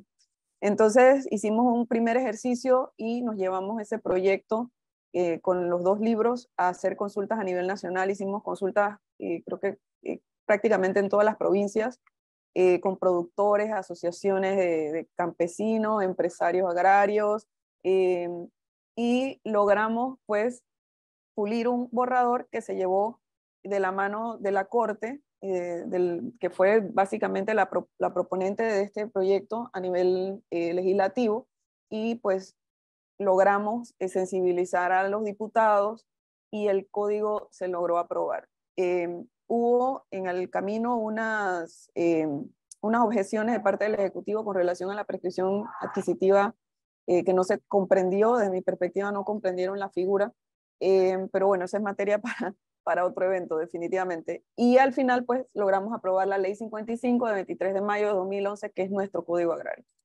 Entonces, ¿cuál es el, nuestro modelo? ¿Cuál es la estructura del modelo nuestro de la parte jurisdiccional? Tenemos en la parte más alta la sala civil de la Corte Suprema de Justicia, que es nuestra sala este, primera, y ellos conocen a nivel de, sala de las, eh, básicamente de las casaciones contra las decisiones de los tribunales superiores y también de los conflictos de competencia cuando surgen a raíz de, em, de que un juez que no es agrario eh, declina competencia porque considera que el asunto no es eh, de su competencia, pues del juez civil básicamente. Y luego tenemos el Tribunal Superior Agrario que está creado en el código, pero que no ha sido creado en, la práctica, es decir, no existe. Eh, lo que tenemos en la práctica son tribunales superiores existentes, los, tribunales superiores civiles en la ciudad de Panamá, que es, es el único provincia que tiene un tribunal civil único, y en las provincias tenemos los tribunales superiores mixtos que ven temas civiles y, penales. Eh, temas penales que van quedando rezagados del, del, del, sistema inquisitivo penal que teníamos anteriormente, porque ahora ya tenemos un sistema penal acusatorio de hace poco más de 10 años. Y entonces, pero estos tribunales mixtos, digamos que incluso resuelven en algunos casos temas de familia también, temas de protección al consumidor, etc. Bueno, este, este tribunal, que básicamente es un tribunal civil, a nivel de provincias, que es donde tenemos la mayor, mejor dicho, todos los juzgados agrarios, es el que son los que conocen eh, aisladamente cada tribunal, eh, es un tribunal superior por cada dos provincias, entonces digamos que aisladamente cada uno conoce de, los, de las apelaciones, de los fallos de los jueces agrarios, entonces pues eso trae una gran dispersión, no hemos logrado realmente que se unifique la doctrina eh, agraria en algunos temas. Este, existen mm, eh, interpretaciones diversas dependiendo del tribunal de que se trate. Entonces, esa es una tarea que tenemos pendiente y lo vamos a, profundizar un poquito en eso. Entonces, eh, los juzgados agrarios que tenemos, que debe ser uno por cada provincia, nosotros tenemos 10 provincias, tenemos 6 juzgados agrarios, nos hacen falta 4. ahora recientemente, el año pasado, se creó el de Coclé, que fue el último, eh, pero nos hacen falta todavía provincia de Panamá Oeste, Panamá, Colón y Darién, que no, no tienen aún juzgados agrarios. O sea, tienen jueces civiles atendiendo las causas agrarias basados en la normativa del Código Agrario, eh, pero que no la comprenden en muchos casos porque ellos no son jueces agrarios, no, tienen la formación especializada que, se amerita. Entonces, em, eh, ¿cuál es la competencia? Voy a tratar de ir un poquito rápido porque creo que el tiempo se me está yendo. Eh, la competencia de nuestros jueces agrarios es básicamente los conflictos de naturaleza agraria y los que afecten los predios agrarios. O sea, no es solamente la actividad agraria, sino los predios agrarios en sí. Y entonces en el artículo 166 del código tenemos toda la competencia una por una este, detallada de cuáles son esos procesos que conocen nuestros jueces agrarios. Eh, básicamente son eh, los procesos reivindicatorios, la prescripción adquisitiva de dominio, los desalojos en tierras agrarias, deslinde y amojonamiento, inspección de medidas y linderos, expropiación de bienes agrarios, comprobación de derechos posesorios, tutela de la empresa agraria y familiar agraria, la protección de la posesión agraria, conflictos relacionados con organizaciones campesinas, eh, la división de bien común, la edificación en terreno ajeno, la indemnización de daños y perjuicios, producto de actividades agrarias, procesos ejecutivos y cualquier otra causa referida a la actividad o empresa agraria y por último, a prevención, con los jueces civiles conocen de las sucesiones agrarias de que trata este código. Y miren que aquí em, tengo resaltado los procesos de oposición a las adjudicaciones de tierras estatales y municipales. Porque aquí no interesa si el bien es un bien destinado o no a una actividad agraria. Aquí este, lo que interesa es que exista un proceso de adjudicación ya sea a nivel de, administrativo, que en el caso nuestro es la Autoridad Nacional de Administración de Tierras, em, o a nivel municipal, este, donde, donde los, las personas que ocupan terreno dentro de ejidos municipales tienen la posibilidad de solicitarle al municipio pues, que se le otorgue el título de propiedad. ¿Por qué lo hicimos así? Porque ciertamente el tema de las oposiciones a título es el grueso de, las, eh, de los conflictos eh, de tierras eh, y de los conflictos en general que atienden los jueces agrarios. Y así lo podemos ver en esta estadística que les traje acá, que si bien es una estadística ah, desde que empezó la jurisdicción de 2010 hasta el 2021, perdón, del 2011 a 2021, ustedes pueden ver aquí que la mayor cantidad de procesos que han resuelto los jueces agrarios, eh, hasta ese momento teníamos en su mayoría eran tres, luego se incorporó un cuarto juzgado y ahora, como les dije el año pasado, esa estadística no está aquí porque no está aquí el, juzgado de Cocle recién creado. Eh, pero hasta ese momento ustedes pueden ver que 45.8% de los procesos que resuelven los jueces agrarios son procesos de oposición a las adjudicaciones de título. Y, y en la mayoría, no lo, no lo dice la estadística, pero lo sabemos que es así, son eh, tierras que son estatales o, o baldíos nacionales eh, porque los casos municipales son los menos, pero sí, sí los hay también que se remiten a, la, a, la, a los juzgados agrarios para conocimiento del, del juez. Eh, porque también tuvimos un amplio debate sobre si realmente el juez agrario debía o no resolver estos conflictos, eh, pero la práctica ha demostrado que el juez agrario es más eficiente para resolver estos conflictos por su propia eh, vinculación, experiencia, relación con la tierra eh, y además porque como, como parte del, del equipo que, que, que, se estableció para estos juzgados agrarios, se nombró eh, o se nombran peritos topógrafos que forman parte de la estructura del tribunal.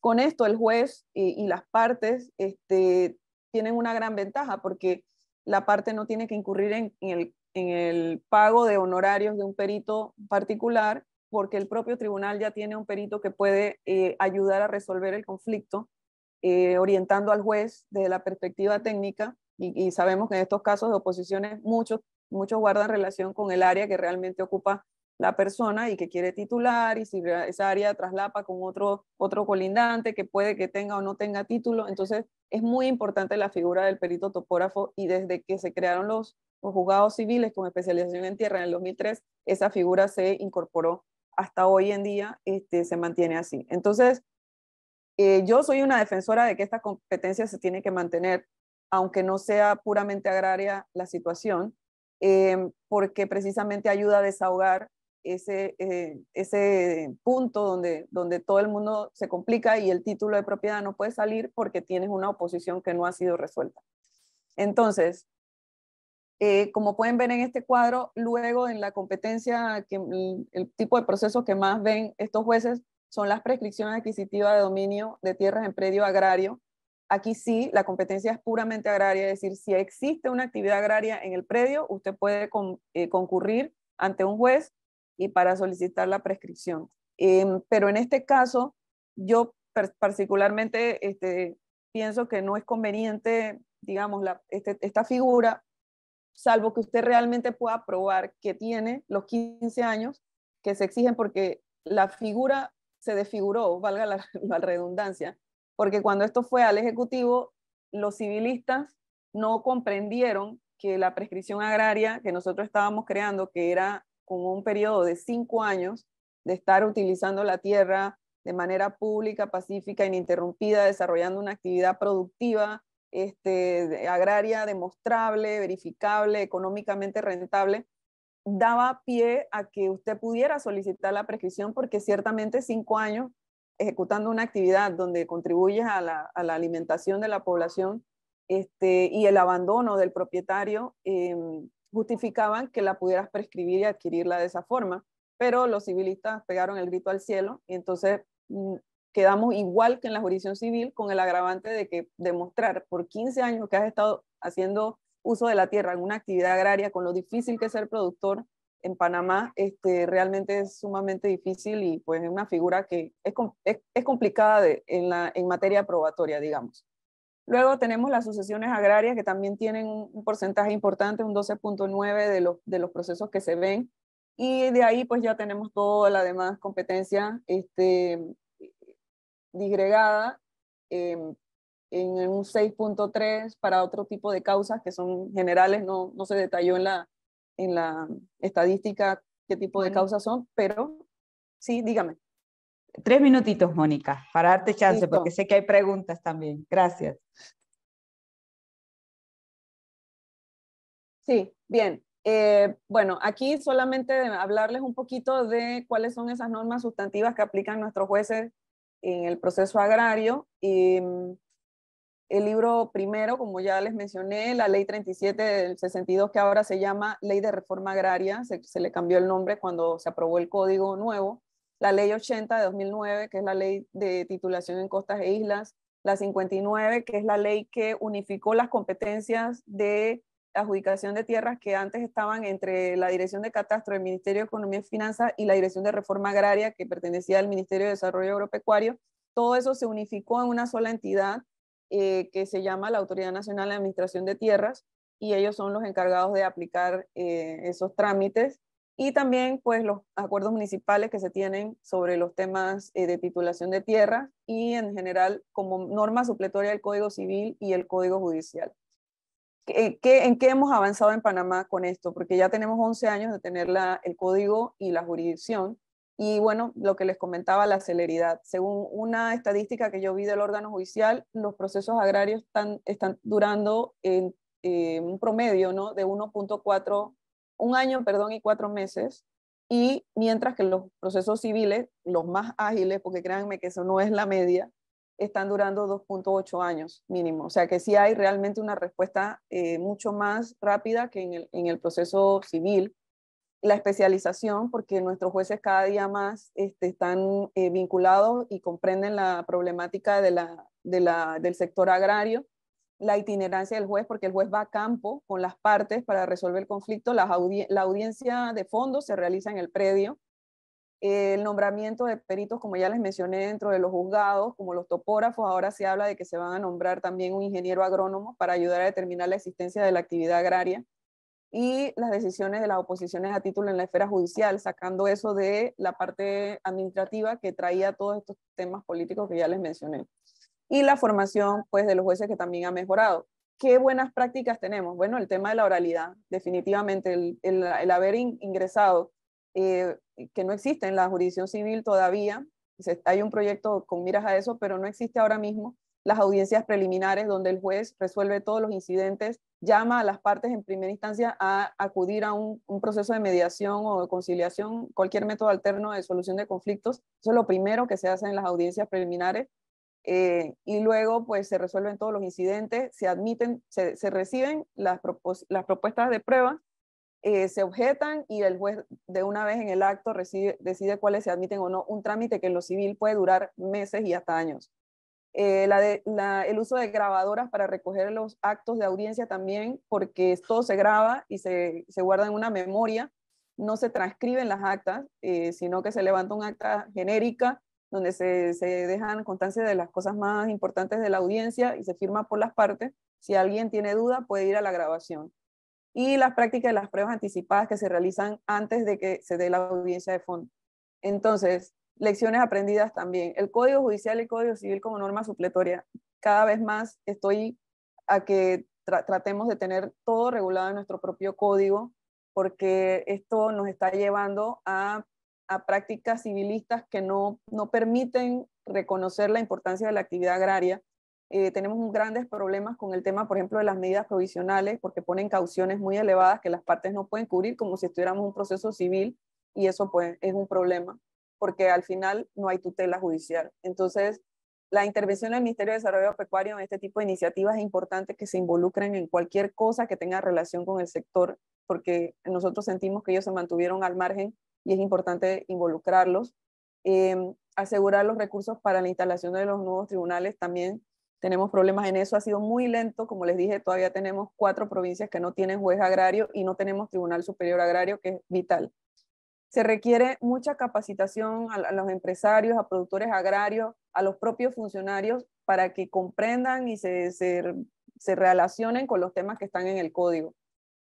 Desafíos y tareas que tenemos pendientes, establecer el Tribunal Superior Agrario, eso es urgente para ayer. Todavía la Corte no, no lo ha internalizado, están concentrados en otros gastos y en otras cosas que tienen eh, pendientes, pero esto es muy importante. Eh, realizar un proceso de consultas para hacer un, proyecto para modificar el código horario, porque ya hemos identificado cosas que ameritan ser modificadas, ampliadas, explicadas, etc.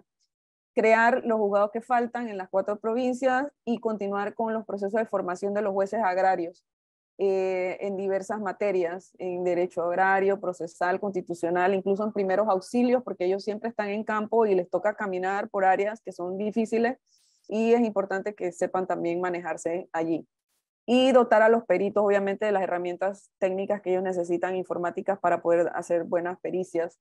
Incentivar y financiar la investigación jurídica en materia de derecho agrario y la producción de, de doctrina que permita este, desarrollar aún más el sistema. Así que muchas gracias por su atención. Al final corrí mucho, pero bueno, me disculpan si me pasé. Bueno, muchas gracias, doctora Mónica. Tenemos eh, tres preguntas en este momento. Una eh, que me parece muy precisa, digamos, y dicen, en el Código Agrario en Panamá existe un sistema probatorio especial de actos que demuestren la pertenencia y la tenencia de la tierra, que realmente son dos preguntas, y existen herramientas que permitan el acceso a la justicia de forma equitativa a las personas de especial protección, por ejemplo, las mujeres rurales. Esa es una de las preguntas.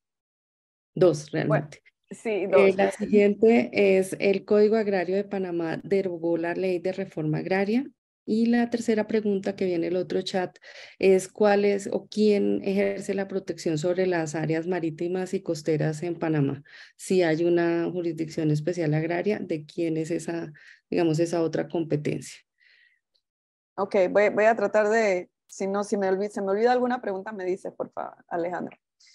Eh, mira, no, el, Código Agrario no derogó la ley de reforma agraria, simplemente le cambió el nombre. Es la ley 37 de 1962, está vigente, pero gran parte del contenido de esa ley ya, eh, digamos, está, fue tácitamente derogada a lo largo de los años, no por el Código Agrario, sino por otras normas. Por ejemplo, la Ley de, General de Ambiente eh, mm. muchos, muchos temas que estaban dentro de la ley de reforma agraria que no permitían precisamente la, protección del ambiente fueron derogadas, algunas expresamente y otras tácitamente.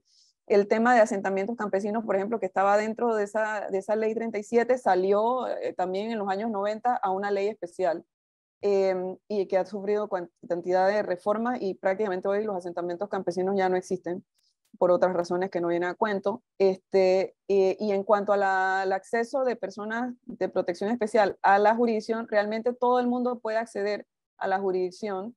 Eh, el órgano judicial tiene un sistema de patrocinio procesal gratuito y de hecho tenemos defensores agrarios especializados que, que el Instituto de Defensoría de Oficio eh, o Defensoría Pública se llama, eh, le asigna a las personas que, mm, que, tienen ingresos menores a, creo que son 400 dólares mensuales, tienen derecho a ese patrocinio procesal gratuito y pueden concurrir a través de estos defensores públicos, que son muy buenos, a propósito, este, al, a un juez agrario. Pueden, pueden ayudarse con ese patrocinio. Y la otra pregunta creo que es sobre las áreas marítimas. Eh, bueno, lo que pasa es que, salvo que en un área marítima haya una actividad de tipo agraria y la pesca no es considerada en Panamá una actividad agraria como tal, eh, mm, ese tipo de actividades no, no entran en la, en la, jurisdicción nuestra. En las áreas insulares eh, existe la ley 80 eh, de 2009, creo, o 2010, em, que es para efectos de titulación de tierras. Pero cuando un área insular es un área protegida al mismo tiempo, entonces no hay titulación posible, salvo que la persona estuviese ejerciendo posesión desde antes de que se creara el área protegida. Entonces, en las áreas marítimas, básicamente existe la, Autoridad Marítima de Panamá, que es la que se encarga de supervisar eh, todo lo que ocurre con ese tema de pesca y protección de humedales, etcétera. Ellos son los llamados a eso, pero es más en una sede administrativa que judicial. Bueno, llegó una, una siguiente pregunta y dice, ¿cuál es la situación de conflictividad agraria en las comarcas indígenas? ¿Tienen jurisdicción dentro de las mismas? Sí, se supone que debe existir un juez agrario dentro de las comarcas, así fue creado dentro del código, pero hasta la fecha no tenemos un solo juez agrario en las comarcas. Nosotros tenemos seis comarcas indígenas este, y en ninguna de ellas existe juez agrario.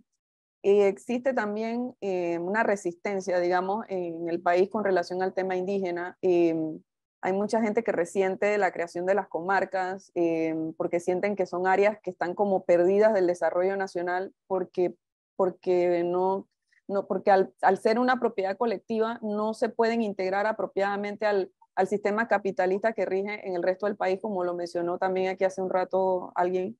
Em, entonces, eh, las comarcas están, como quien dice, no, no, acceden a créditos porque la tierra es colectiva.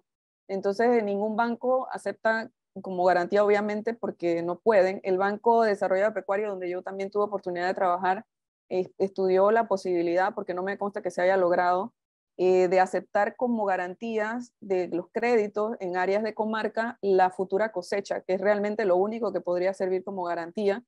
Em, y, pero no, no tengo como una, una experiencia específica de que eso se haya dado. el, Estado ha invertido mucho en las áreas de comarca, pero más en ayuda social que en ayuda, y cuando digo social es como subsidio, más que, que en inversión de, de en inversión de en algún tipo de actividad. No, no sé, y pido excusas si digo algo que no es, pero no me consta que existan, por ejemplo, proyectos de desarrollo de algún tipo de cultivo impulsado por el Estado o financiado por el Estado dentro de las comarcas. Es posible que lo haya, algunos parcialmente, pero no hacen como mucho ruido.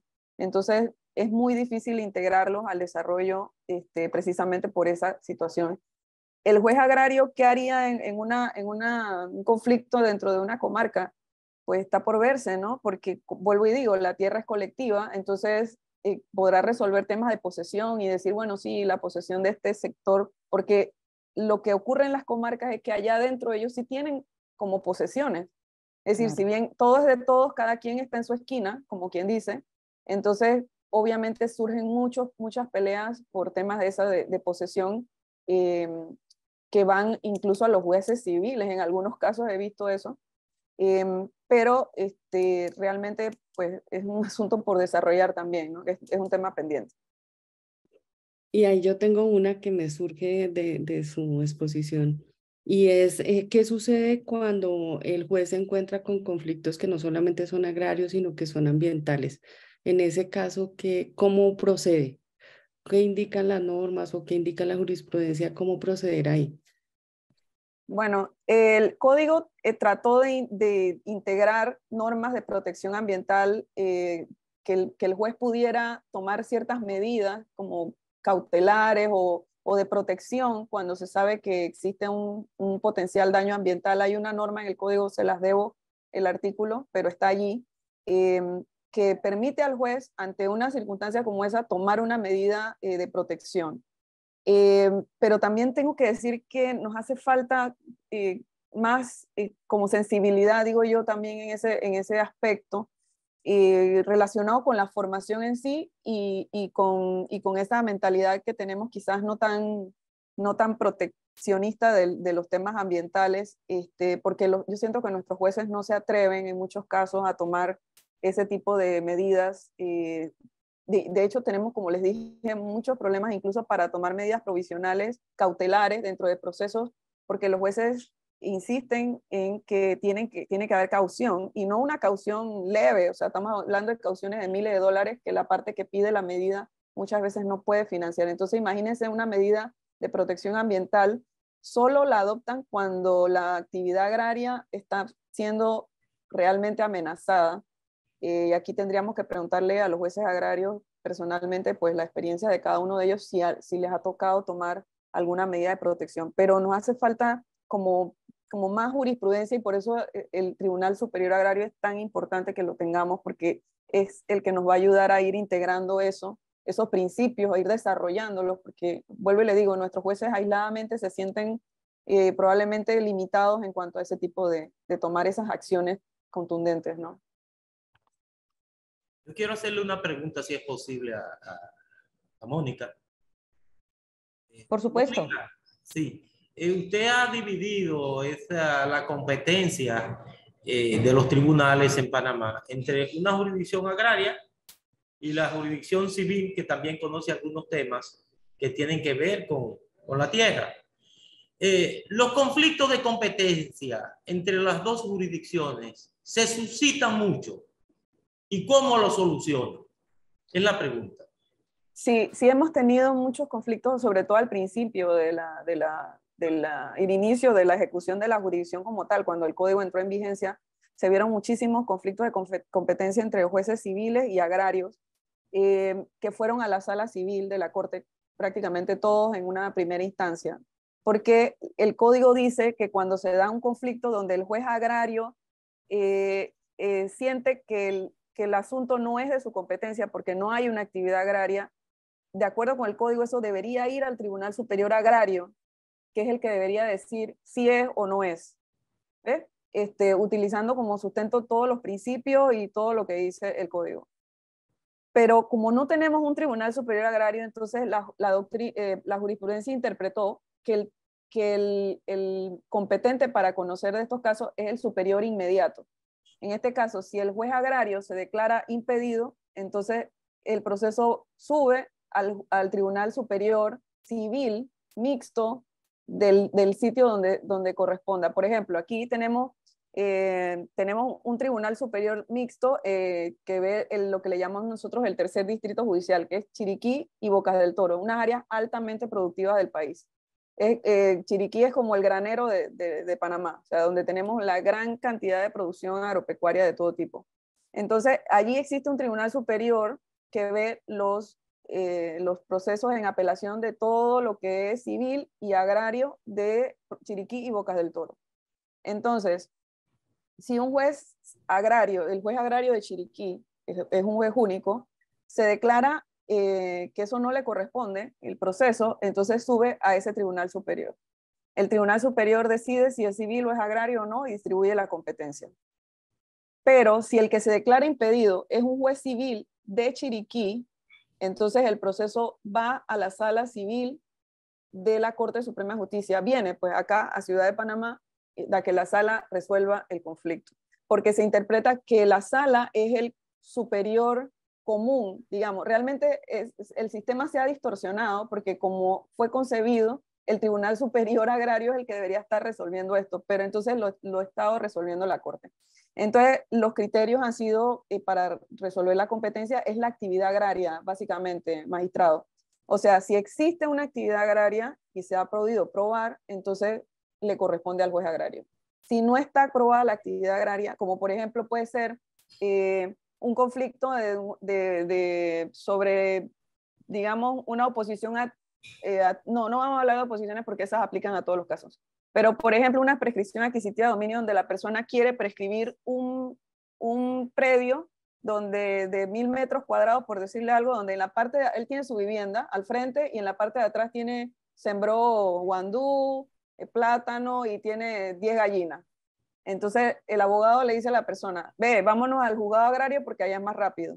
Entonces pone la prescripción adquisitiva de dominio en el juzgado agrario y entonces el juez agrario que ha adoptado una, una práctica que no está en el código, pero me parece muy saludable, de ir a hacer una primera inspección cuando recibe la demanda y entonces vaya y mira y se da cuenta que eso no es una actividad agraria que va a la comercialización, transformación, etcétera, como lo dice el código. Entonces eh, dice, no, esto no es un asunto agrario, esto es un asunto civil porque es una agricultura como ni de subsistencia, o sea, es como casi de hobby. Entonces le, declina la competencia al juez civil. Entonces, eh, eh, ha habido muchísima discusión y la, jurisprudencia de la Corte es rica en esto y se pueden consultar los fallos, después les puedo enviar el enlace eh, de la sala civil sobre cuándo hay una actividad agraria y cuándo no la hay, porque hay todavía hay mucha discusión sobre eso. Ahora mismo tenemos un foro aquí este, de Derecho Procesal Agrario esta noche y vamos a abordar justamente ese tema del concepto en sí de actividad agraria porque es muy, muy interesante. Sí, es interesante porque eso nos va a ayudar a delimitar una, una competencia y otra. eso nos va a ayudar bastante. Gracias, Mónica. A la orden. Bueno, muchísimas gracias. Vamos, yo creo que no hay más preguntas. Ya nos pasamos unos seis minutitos del tiempo establecido, ¿no? Y en, y en hora sí quisiera leer algunos comentarios interesantes en el chat. ¿No? Un colega de Guatemala que dice, bueno, el tema agrario es difícil acá porque se, han ido, se ha ido cerrando la poca institucionalidad agraria en el país, como la Secretaría de Asuntos Agrados, COPREDE, CEPAS, Comisión Presidencial de Diálogo, y pues esto ha generado una ola de criminalización en contra de los pueblos originarios. Los juicios los llevan en tribunales ordinarios y bueno, y todo esto lleva a todo un tema de complicación, ¿no? De, de defender y del acceso a la justicia y que menciona cómo en Guatemala pues no existe una ley de tierras y no hay tribunales agrarios y que la problemática obviamente es elevada. En el caso de Cuba, aquí un comentario también, ¿no? De cómo esta ley 141 de 2021, eh, contentivo del Código de Procesos que pudiera resolver el tema del tribunal agrario, pero que el problema radica en la falta de especialización de los jueces existentes en la actualidad. Algo que he mencionado eh, nuestros ponentes en, sus experiencias, ¿no? Y, bueno, y sin existir el acceso a la justicia con la nueva constitución, pues todos los asuntos agrarios adversarios, pues no se tendría una expedita vía judicial. Y bueno, y miren, en Paraguay también, eh, eh, de esto es lo rico de estos intercambios, ¿no? Por poder conocer esas cosas en que tenemos retos similares, y pero que también tenemos eh, ¿cómo se llama? Avances también que pueden ayudar a otros países. Dice, Paraguay la constitución está prevista la creación del fuero agrario, pero hasta hoy tampoco se ha creado y los conflictos de la tierra va al fuero civil o penal, pero ahora hay un proyecto de ley de tierras para instalar el fuero agrario. Pues bueno, esperamos, señora Beatriz, que, que eh, lo que se ha compartido hoy y que se va a compartir el día de mañana sirva, ¿no? Y sea de utilidad también en este proceso en el que está Paraguay de este nuevo proyecto de ley para instaurar, su fuero agrario. De esto justamente se tratan estos espacios de que compartamos, de que intercambiamos. Sabemos que, como les decía, realidades distintas, otras muy similares, pero de nuevo agradecer muchísimo a nuestros expositores de hoy. Quiero decirles que personalmente he aprendido muchísimo. soy abogada, pero como bien dicen, es una, es, una lástima, ¿no? Que la, la, clase o la cátedra de Derecho Agrario cada vez como que va eh, pues, perdiendo preeminencia en, los, en, los, en las currículas de, la, de los ah, profesionales juristas en general, ¿no? Cuando vemos que la problemática es grande, es amplia, se necesitan más personas, ¿no? Especializadas y que, y que puedan aportar. Así que muchísimas gracias, magistrado Anselmo Bello, muchísimas gracias a Jonathan Toribio, a Mónica, a Alejandra por su moderación o con las preguntas. Fue muy dinámico el, el, tema de las preguntas y las consultas. Y los invitamos para mañana, porque continuamos mañana. Hoy, como dice, fue la antesala y la antesala estuvo buenísima, ¿no? La, la, eh, estuvo buenísima con estas exposiciones del día de hoy. Y mañana pues vamos a, arrancamos a la misma hora y los invito a que por favor no falten, se conecten. Vamos a tener al Procurador General Agrario de México, que como ustedes saben también todavía una eh, una institucionalidad importante en este tema agrario en México y él también va a compartir con nosotros desde esa, eh, conversarnos desde esa realidad en México, desde esos avances, igual también desde los retos y las recomendaciones prácticas que hoy estamos recibiendo. Así que muchísimas gracias y nos vemos mañana. Gracias a todos. Chao. Placer. Chao. Chao, chao.